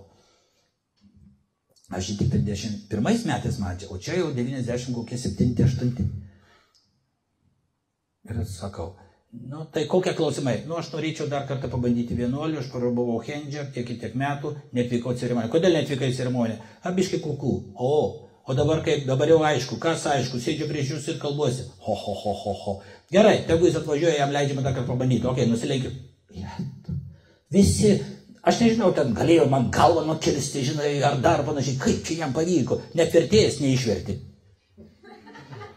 Vietom, kaip čia dabar, pala, nu, ir visi taip nustebė, o aš verkiu kaip vaikas išėjęs. Man leido tą kartą pabandyti, aš dabar sėdžiu prieš jų. O jeigu ne, tai ką, žinai, maža kas su manim būtų buvę. Suprant? Tai va čia konkretus atvejis, kada tu sutinki tą būdą, kada tas agulamal sutiko tą būdą, jeigu nebūtų sutikęs, jeigu būtų sutikęs. Ta karalių su tas vieta šnirkšt, o jeigu mama jisai būtų, o kai mama nužudai, tu negali tapti šventuoju, ten yra tradicija. Tas, o, tai ką mums dabar daryti, nu nėra tų šventų žmonių aplinkui. Tai vad, jeigu turi nors vieną kažkokį nepasitenkinimą, kažkokį skrislelį, kažkas tokio, tai yra signalas, kad reikia ieškoti mokytojo. Ministerijų švietimo ar, ar, ar kur nors. Čia vis apie tai. Nu taip, nes kodėl taip? Dėl to, kad... Ai, kad visi tokie. Ai, kad taip. O ne velnė, dabar aš sėdžiu ir sakau, ne velnė, o reikia ieškoti, jūs dabar girdėsit šitą. Ir kada bus taip, aha, tai yra signalas. Neturi reikšmės, ar tau 70 metų, ar tau 15. Kartais užtenka va tos vienos sentencijos išgirsis mes ir pamatysit, kaip apsivers gyvenimą. Tai dabar pas ką, aišku, yra ir gerų vienuolių. Tik tai reikia iškloti kažkaip. Yra ir palendriai, yra ir, ir pranciškoniai, yra žmonės, kurie praktikuoja. Kas įdomiausiai, mūsų katalikų šaly e, daugiau dvasingi tie žmonės, kurie neužima pozicijų kurie vienuoliai paprasti, ravi, kaip tėvas Stanislavas. Ir kurie galbūt nelabai bėgs ir tų valdžių ir panašiai, bet jie prie žemės, jie prie dvasios, nes jiems nereikia karjeros. Jiems nereikia dar vieną kartą nusipirkti BMW, iš BMW pasididžiuoti Lexusų ir nusipirkti Seiko laikrodį, nu galbūt čia, čia kitos religinės, bet, nu, suprantate, pinigai didžiuliai.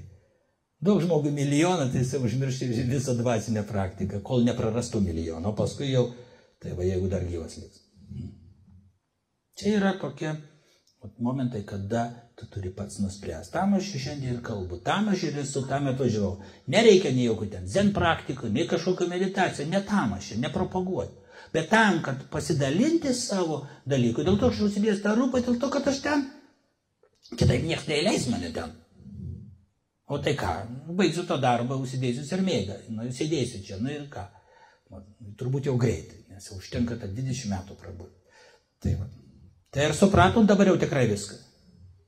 Ar girdėjot galėte? Įrašas bus internete, galėsit pasiklausyti. Online'as.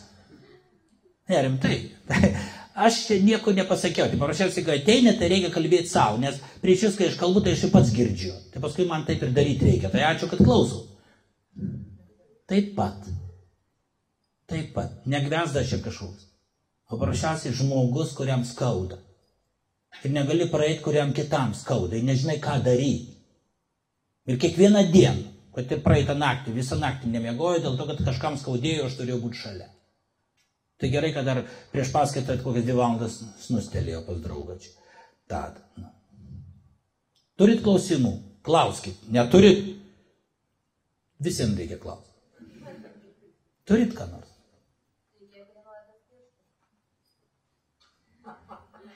Laikyk tą klausimą ir suvoksi.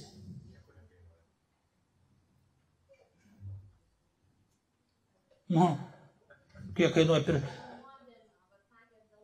Kas?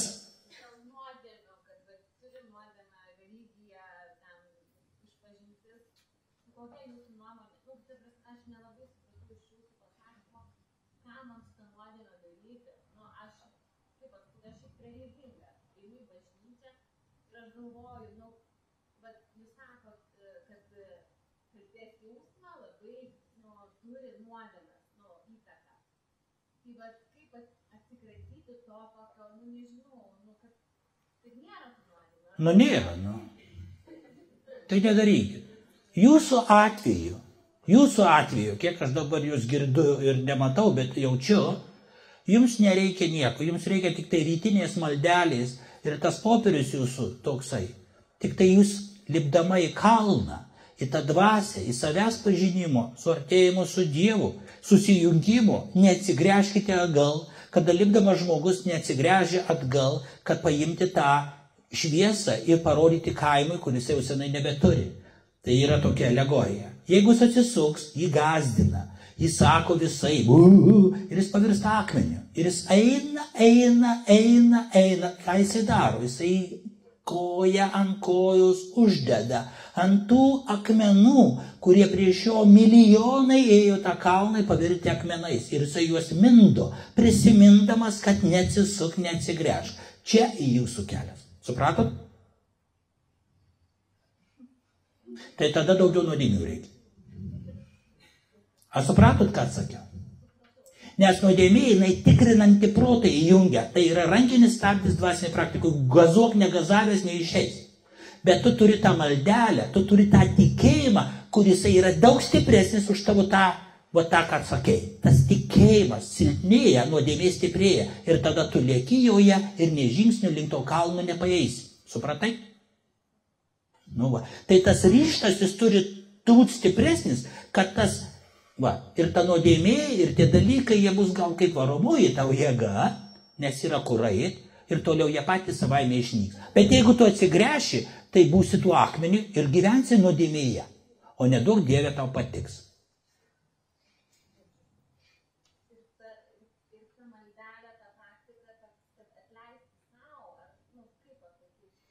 Aš tikiu ir pasitikiu. Aš myliu, aš tikiu tavim, tu myli mane. Yra tokia maldelė, jeigu kalbant iš katalikų. Va šitą. Arba susitik palendriuose vienuolynę, tėvą Žerarą, jisai labai šitą maldelę tau įdėks. Va čia yra ta, va ta formulė, apie ką tu klausi, kas liečia bažnyčią.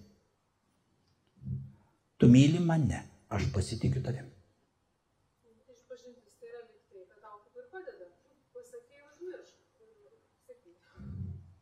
Nėra to, kas užmirštų.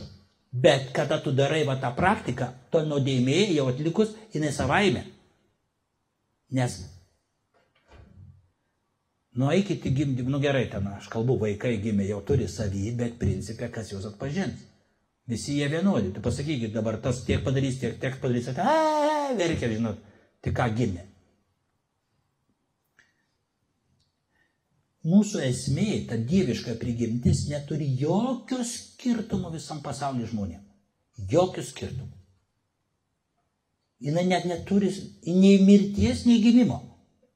Jis yra, jinai ta gyvybė rusena prieš mums čia atsirandant. Tau sąlygos atsirasti šitam kūnui. Ir kada tu prisilieti prie tuo amžinybę, vadinkim tada taip, tada tu jauti buvimas joje ir yra ta palaima. Tai yra šimtaprocentinis arba 95 procentai tikėjim, kuris teikia palaimą ir džiaugsmą. Ir tada tu matai kitą metą. Bet jeigu tu iš proto tai eina, o ne iš širdies, tada su gitara groji ir sakai, tikėk ir tu, tikėk ir tu, nu tavęs nusigręš. Nesakys, uhu, bet jeigu tu nerodysi savo to, o kiekvienam žmogui padėsi, nesakydama, kam tu reprezentuoji save, tuomet įeis šitas. O čia yra įdomus dalykai. Bet kiekvienam veiksmui reikalinga išmintis. O jeigu ne, tai bus fanatizmas. Vadinasi tokie žodžiai. Dar klausimas. Tai ar teisingai supratau, kad e, jeigu kaimas pastoviai kaltina, nu kažkom, tai reikia tiesiog neatsigręžti jos eiti savo, įlipti į kalną. Paskenduolę mes visi žinom. Ar reikia daugiau pasakyti? Paskenduolę skaitai? A, kaimas.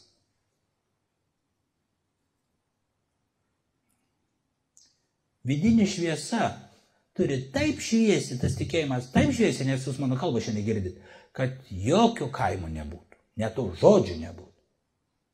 Dabar žmonės keičiasi, ne tie laikai jau. Nebėra galbūt to kaimo.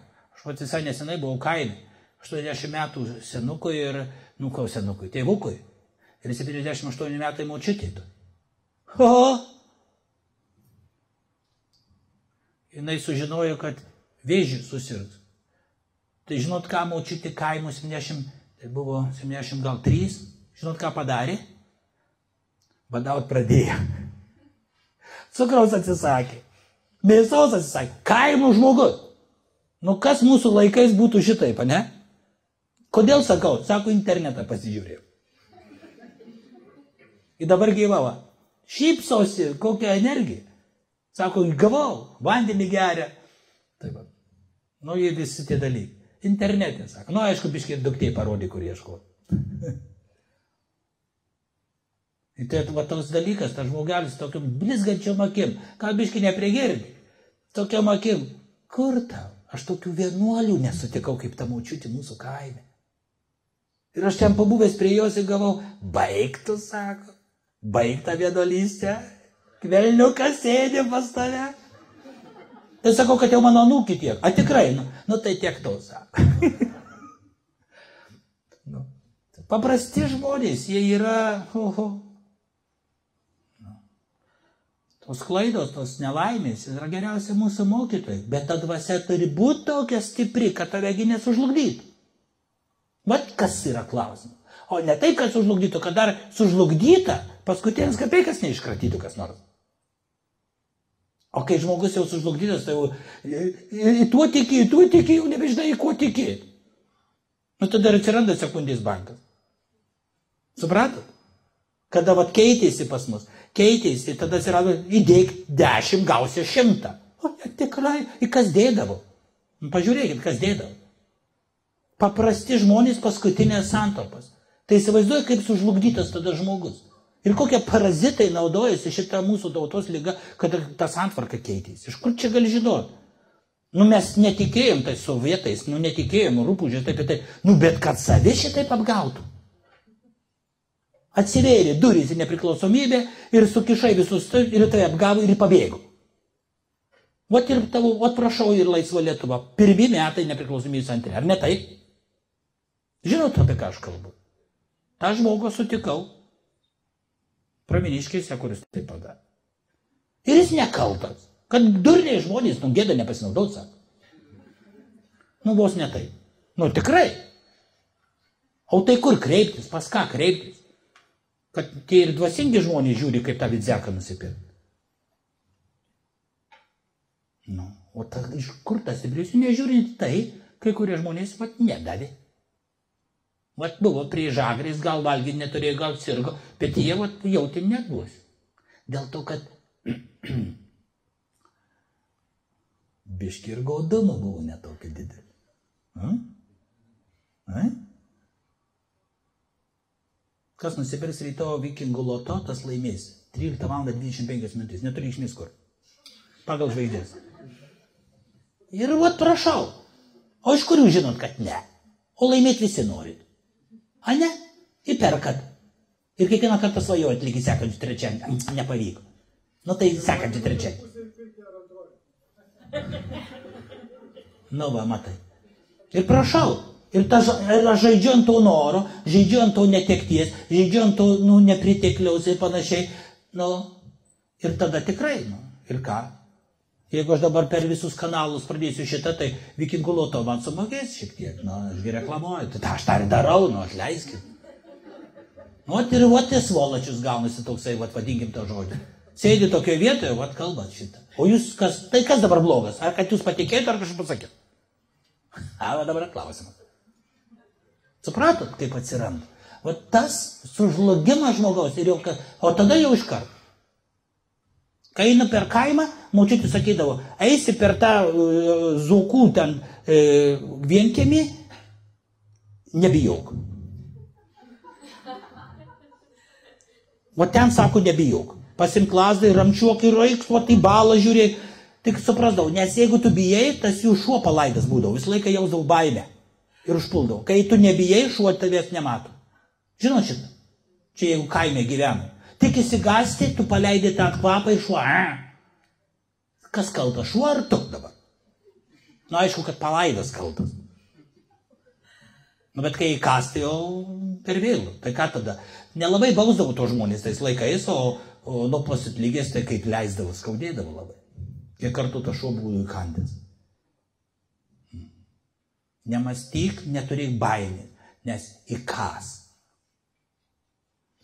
Tai kaip čia dabar nebijau? Tai geriau visai neįsiu. Arba mokiniesi nebijot, užsidaręs kambariukį.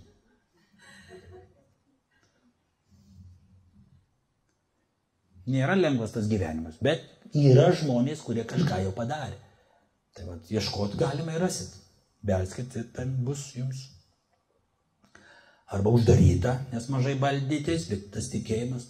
Ir ta dvasinė praktika tai yra tokia, vadinkime, dvasinė ar kokie ten neturi išmesti žodžiai, kada žmogus kala ten tunelį į kažkokią šviesą, gyvenamas kambarį tamsiam, uždarytas, ir jisai paleidžia tą plaktuką ir nutarė, užteks. O ten piešinukas labai aiškus, liko vienu smūgiu. Tai va, visuomet ta mintis liko tik vienas smūgis. Ir kiekvieną kartą, kada paukščiukas lekia, vandens pasėmęs ir gesina Sibirė gaisrą, kuris dabar didelis buvo jo. Taigi kur tau 7 tūkstančiai kilometrų? O jis mažas paukštelis. Ką darai? Gaisrą gedini. Nu į durną. Bet jo tas ryštas ir yra tas. Tada mes imkim milijoną paukščių. Ir tas ryštas uždega. Tas ryštas uždega ir gubernatorių, kuris pagaliau pradeda gesinti, matydamas tos paukščiukus ir panašiai. Tas ryštas, va čia yra tas dvasingas ryštas. Nežiūrint į beviltišką situaciją, mano širdis plaka tam, kad aš mylėčiau kitų. Nu, dar kokį klausimą ir ką rasti? Nu, pirmiausia, pasižiūrėkite į veidrodį. Ten jisai yra. Tikit ar ne? Tai va tas ne, tai jau niekur nesurasi. Aha, nu tai jeigu tikit, tai kam tada mokytojas? A, gal aš taip netiesiogiai sakau. Nes tų mokytojų atsiras pagal tavo sugėdimo laipsnį, tik tai paskui žiūrėk, kad kišenė bus tuščia. Tų mokytojų pilna. Turi būti išminties, kad surastų. Turi kažkas tokio įvykti. Pirmiausiai, kas mane buvo pas mane, nenustok ieškojęs. Kiek pas mane jų buvo? Visokių. Nes poreikis buvo didžiulis, tos knygutės ezoterinės atsidarė ir dar panašiai, ir tų čakrų atidarymas, ir tų aurų visokių, ko tik tai nebuvo tais laikais. Ir rusų kalba, ir dar visokie paveiksliukai, ir, ir astrologiniai dalykai, kas dabar jau čia daro, tai tais laikais, nu, ta pilna, o, ezoterinis knyginas net vadindavosi, nežinau, dabar yra. Na, ezoterinis knyginas. Pirmas mano mokytojas tai buvo Blavatskai. Ten jos visi teosofizmas, dar, panašiai tie visi dalykai praeit. Nu, ko tik tai nebuvo. Kol ir pagal tavo atitikimą taip pat turi būti kažkas, atitikimą dar. Tai žinokit, nu, kaip tai pavyksta. Nežinau, bet kai mūsų mokytas paklausim, kaip suras tą savo mokytą, nenustok ieškojus. O kai jau surasi, tai dar paieškok. Nu rimtai, nu čia ne juokas yra, čia žinokit gyvenimo ir mirties klausimas, jeigu tikrai tavėl to klausimas didelis yra. Jeigu suradai, nenustok ieškojus. Tada jisai siūsdavo mus ten ir ten ir ten, ir mes jau tada žinodom pas ką grįžti. Aš jai siūsdavo, mes teikiam tu mokytojų, eik ten. Mm, Eik ten. Jis neprisileisdavo tų akučių prie savęs. Nes tikėjimas mokytojo tai yra, kokį darbą da- duoda tau, tu jį turi atlikti. Pasakė, ten trys mėnesių meditacijos, tu sėdė meditacija. Ir tu turi, ir ten yra tokia, aišku, o ko čia sėdi? Tai aš noriu čia iš jūsų mokytis, nieko aš nemokau. Ot, tu turi praeiti tam tikrus jau kažkokius keistus dalykus. Kas kalba, kas atsako. Ir jisai parodo tavo buvimą, kad tu net negali pasakyti, kas tu. Tai koks mokytojas tada? Tada išlėtų, išlėtų, išlėtų, išlėtų, išlėtų, išlėtų. Jisai duoda tai, kad tu stebi tą savo veidrodį, savo atvaizdas ir atsiranda jauti kaip tas vidinis tikrinantis protas arba dualizmas dviese pasakau, mažėja, mažėja, mažėja. Ir tas tavo buvimas, va dabar sėdėjimas čia, arba sėdėjimas ten, arba sėdėjimas mašinoje, arba autobuse, jis nesukelia nepasitenkinimo jausmų, kad nu viskas gerai, bet dar vis geriau būtų. Nėra jau šito, o nepasitenkinimo jausmas esamui padėtyje ir sukelia kančią. Jeigu jisai iš vis didelis, nu tai tu niekur negali būti ramybės būsina. Ir čia negerai, ten negerai, ten negerai. O jeigu biškai, o ten gerai, o ten neblogai, o ten taip, nu tai va, bažnyčiui gerai, o kai išeinu iš bažnyčios, eina švilt. Žinai, geriau tų žmonių nebūtų. Bažnyčia tai gerai. Bet išeinu, tai va, o ten prie paturgus ta bažnyčia. Nu vėl apsikrečia, vėl grįžtu namo, apšaukiu visai tą energiją. Bet kada tu jau nerandi kiekvienoje minutėje, tu esi va taip, kaip toj maldoj, kaip bažnyčia. Ir jisai duoda šitą, tą suvokimą. Jis nerodo, kaip jisai yra, va toksai. Ir visą sakydavo, nu parodyk kokią magiją. Nu paskraidyk, pažiūrėsim, tada įtikėsim. Šauk nuo alos, pažiūrėsim, ar tikras mokytojas. Ne. Tada pririš, sako tave, prie savęs. Tu esi laisvas. Ir jis daro tave laisvu, o laisvė tai yra šimto procentų buvimas čia ir dabar. Tai yra dvasinė išda. Tada dinksta tavo nepasitenkinimas ir tada netgi tu tavęs nėra tuo metu. Tada tik tai tu gali matyti tą veidrodį, ką aš kalbėjau, širdės sutra. Tada tu gali matyti aplinką be savo suvokimų, be savo supratimų. Ir automatiškai, kai tu esi harmonijoje, tu įgauni tą energiją visatos kada tavo vibracijos, prana vibracijos ir visatos vibracija tampa vienu. Kas joga vadinasi jungtis, kas įvairiai, bet tai yra jungtis. Ir tuomet tu esi jau palaimoje. Tai darbas lygtai ir baigtas. Tik tai dabar tu įmatai kitą žmogų ir eini padėti kitiems, nes tam ir buvai. Tam ir reikėjo tau pasiekti tą lygį, kad padėti kitiems. Labai paprasta. Tai va toks mokytas ir yra geras. A kai jisai sako, lenkis, bučiokis, neštis ir panašiai ten kojas, dar davų, dum, dum, nu, nu, nu. Aišku, kai mūsų mokytas numirė, verkiam visi taip ir taip. Mokyto, kodėl tu išvažiavai, kodėl tu nepasilieki pas mus, čia Lietuva, gal to blogai, gal maistas netink. Jeigu laikysi protą, nežinau, tu visą laiką su manim būsi, ar aš numirsiu, ar nemažai. Nežinau, ką tai reiškia, bet jau geriau, kad tu būtum. Ir po truputį, po truputį tu suvoki, ką jis pasakė ir tu jį gauni. Ir kaip gerai, kad dar atsiranda. Ir tada tu jau žiūri, ar sutinki kokį vienuolį čia, ar dar panašiai. Žiūri, kad tas mokymas, jau kai tu įgauni tą tikresnį, daleiskim, nu va tokį. Ir tada tu jau gali įmatyti, kad kiti, vat, kad ir vienuoliai, kad ir pranciškonis, vat, astėjas, kuris įkrito į kažkokį tarpeklį ir tenai turėjo tą tylą, turėjo gyvenimą, dvasinį pergyvenimą. Nu, čia iš kritikos, jo, žinot turbūt. Ir vat jis, kai jisai papasakoja apie šitą, jis, aš jau žinau, apie ką kalba. Kiti va tai klausys, nu įkrito, įkrito, ir aš ten įkritau, ir aš ten pinigus. Bet, bet kai jisai kalba, jis sako, suvokiau tylą. Ir aš jau klausau, nes aš žinau, kad jis turėjo kažkokius potyrius, ką ir aš. O paskui jau neturi reikšmės, kur tu ten, kokiai konvencijoje, taip ir panašiai. Be šitos dvasinės patirties, nu tai bus tik tai bla bla bla. Jau kada tu ir kada tu sujungi tą dvasinę patirtį su to, aha. Ir tada atsiranda dvasinis stiprybė. Ir tada atvažiuoja mūsų meistras ir susitinka vienuolė, kuri na, iš, iš pažaislį vienuolynų. Jie taip gražiai pasikalba, nemokėdami kalbos, nes juos vienyje išsivadavimas iš kančios. Tiek jos, tiek jo. O pažaislį vienuolynas tas, oi nedaug tu dievė, kas ten darydavas. Tai Kokie ten žmonių žuvų ten ir panašiai per carų laiką, nu, karas, toliau. Tai va, o jie visi ten, nu, nežinau, kita istorija. Bet jie va, vienas kitą išveido, pajuto. Ir jūs, juos vienijo, kaip sunku, kiek reikėjo jėgų, kaip aš gerbiu tave, o kaip aš gerbiu tave, išsivadavimas iš tos kančios ir dabar tas buvimas su gailestingumu, meilė, užuojata kitiem, kada akis tau tu nieko negali, ašaros yra, tu nieko negali pakeisti. Tos mergaitės, kur jinai neklauso mamos ir eina naktimis, e, daro negerus darbus, grįžta narkotikų prisirūkiusi ir dar panašiai, ir tu verki, tu meldiesi, tu nežinai, kaip padaryti, ką man vaikui padaryti, ką man pasakyti, ką man pasakyti. Ir dabar jeigu tu matai tą žmogų prieini prie to vaiko ir pasakai,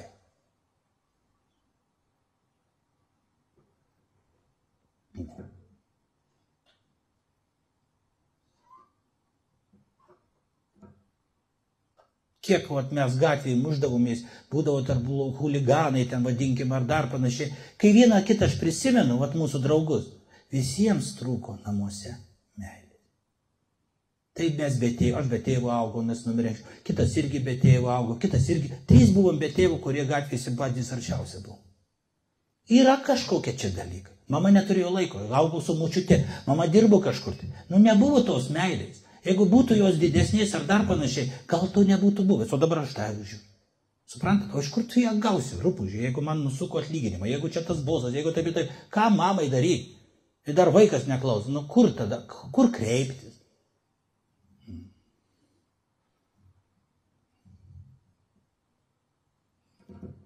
O yra Turi dar klausimą, jeigu neturi, tai gal. Taip klausau?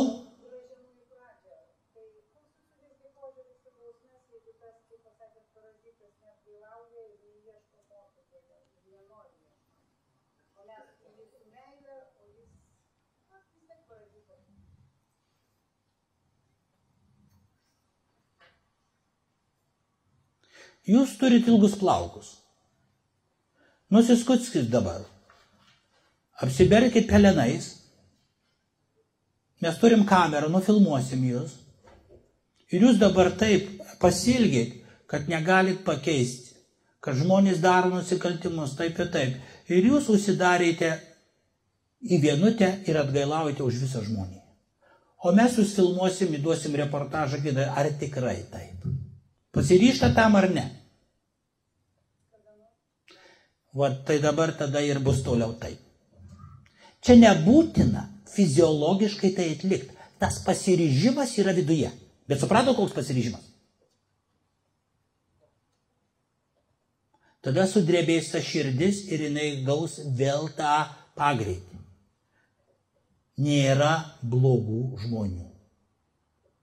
Yra meilės trūkumas. Jau išdavoje jie atsiranda. Nepamiluoti, neapkabinti, nesuprasti. Tai pradinė energija, daleiskit. Arba draugai stipresni už tą šeimą. Bet visiems ne šimta procentų. Oi, toli gražu ne šimta procentų. Kartais mes nubaudžiam žmogų geresnį negu mes patys esame, jeigu gerai pažiūrėjus. Nes nematom, negirdim, neužuodžiam, nėra pas mus to tiesos. Bausmė, jinai nėra reikalinga.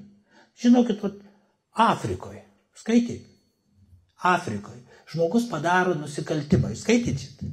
Gentis Afrikos, ulė, ulė, su jėtim dar, net nežinau, nei telefonų, nei to, nei to. Na iš vis primityvai. Mes tai jo ne, o jie. Ir dabar kažkas pavogė iš kažkado jėti. Nu negerai, sako, vaikelė vauk, ne tavo jėtis. Tai ką jie daro? Baudžia. Jie iškasa duobę, užkasa jį ir palaiko dieną. Jeigu atkasa, jeigu jisai gyvas, tai tada vadinasi nelabai blogas. O jeigu numiršta, tai taip jam reikia. Ar sutinkat su tokia bausme? Nu Ir taip jam reikia. A jie taip nedaro. Jie pastato jame vidury jį, pastato jį ir kiekvienas tos genties, to kaimo gyventojas sako jam, kokius gerus darbus jis yra padaręs. Kiekvienas prisimena, nu tu man tenai, tu man padėjai tą karvę papjauti, tu man taip ir taip, tu man panešėjai vandens. Nu, vat, kiekvienas kalba, nu skaitai, kiekvienas kalba, kalba ir jam tai gėda. Nu, sako, o prie ko čia tai jėtis dabar? Nu, tikrai, prie ko tai jėtis? Nu, indėnai, o klausykit, pas juos nebuvo sistemos, pas juos nėra valstybė. Jiems tą problemą reikėjo išspręsti patiems. Jie neįsprendė va tai per dieną. Vadinasi, yra išmintingas žmogus, yra žynys, kuris šitai pasakė daryti. Taigi ne patys. Bet jie bandė galbūt visokius, nieks neveikia. O va šitas labiausiai veikia. Ir jie dabar įsitai įsitvirtino, jie taip ir gyvena. O supratot? Va ir visa bausmė. Pasakyti, kad tu geras. Ir jis apsivers, jam gaila bus. Nu ir suprantat. O kaip mes toli nuo to. Neapsakomai, kad net atgal grįžti nereikia. Bet tas ryštas, tas ryštas pas mus turi būti. Nežiūrint kiek, tau blogo, kad nors asmeniškai padarys. Taip yra, kad mano vaikus tenai lygintuvą uždėda ir tarda ir panašiai, kur ta kortelės numeris, kur tas pin kodas ir taip baisu. Patys žinom šitą, kas vyksta ir matau tos žmonės ir ligoninį juos aplankai. Taip, atėjau, iš, išplėšį, padarė, tiesiog pagaliau juos pagau, mirties bausmė, taip ir taip. Taip, taip. Nu tai nueikit į bažnyčią, nu ir, ir ką kunigas pasakė. Kas yra tas atleidimas? Ha? Kas yra atsukimas to veido? Nu nesąmonė, neveikia. Aha, veikia. Nu jeigu tai ką, bus geriau, jeigu nušausit. Lengviau ant širdies? Taip, lengviau ant širdies. Kitiem blogų nepadarys. Kitas atsiras. Kitas atsiras. Kitas atsiras. Nes tai bus kova, tai bus karas. Kodėl jūs vagiat iš tų žmonių? Dėl to, kad jie tulpes augina ir turgui pardavinėja. Pagal valstybę tai negalima. Jeigu mes iš jų pavoksim, valstybė jie nepraneš, nes jie, nu, turi pasidarę. Nu, suprantat, o kalbasi žmonės patvory ir save pateisina, kodėl jis va taip darys. Tai sovietų laikais, žinot, kada tulpes augindavo arba lapės namuose. Vadinasi, jis jau negerą darbą daro, tada galima iš jų imti. Oi čia, čia galų nebus lygi šito. Dabar yra 7 valandos 10 minučių, dar liko 50 minučių mums, bet aš nutraukiu tą kalbą, nes pas noriu eiti namo. Tai man jau viską pasakiau. Ne, principė po 7.15 čia sekanti grupė. dit. Tai ačiū visiems uždėmesi, ačiū, kad buvote, ačiū, kad žiūrėjote ir klausėtės. Iki sekančio. Spalio 11, 12, 13 darau kido karklėje, baisi praktika. Jeigu ateisit, tai pasieksit prašviesėjim, bet geriau neikit. Nes bus pilnatis. Tai su Dievu visiems. Ačiū Jums.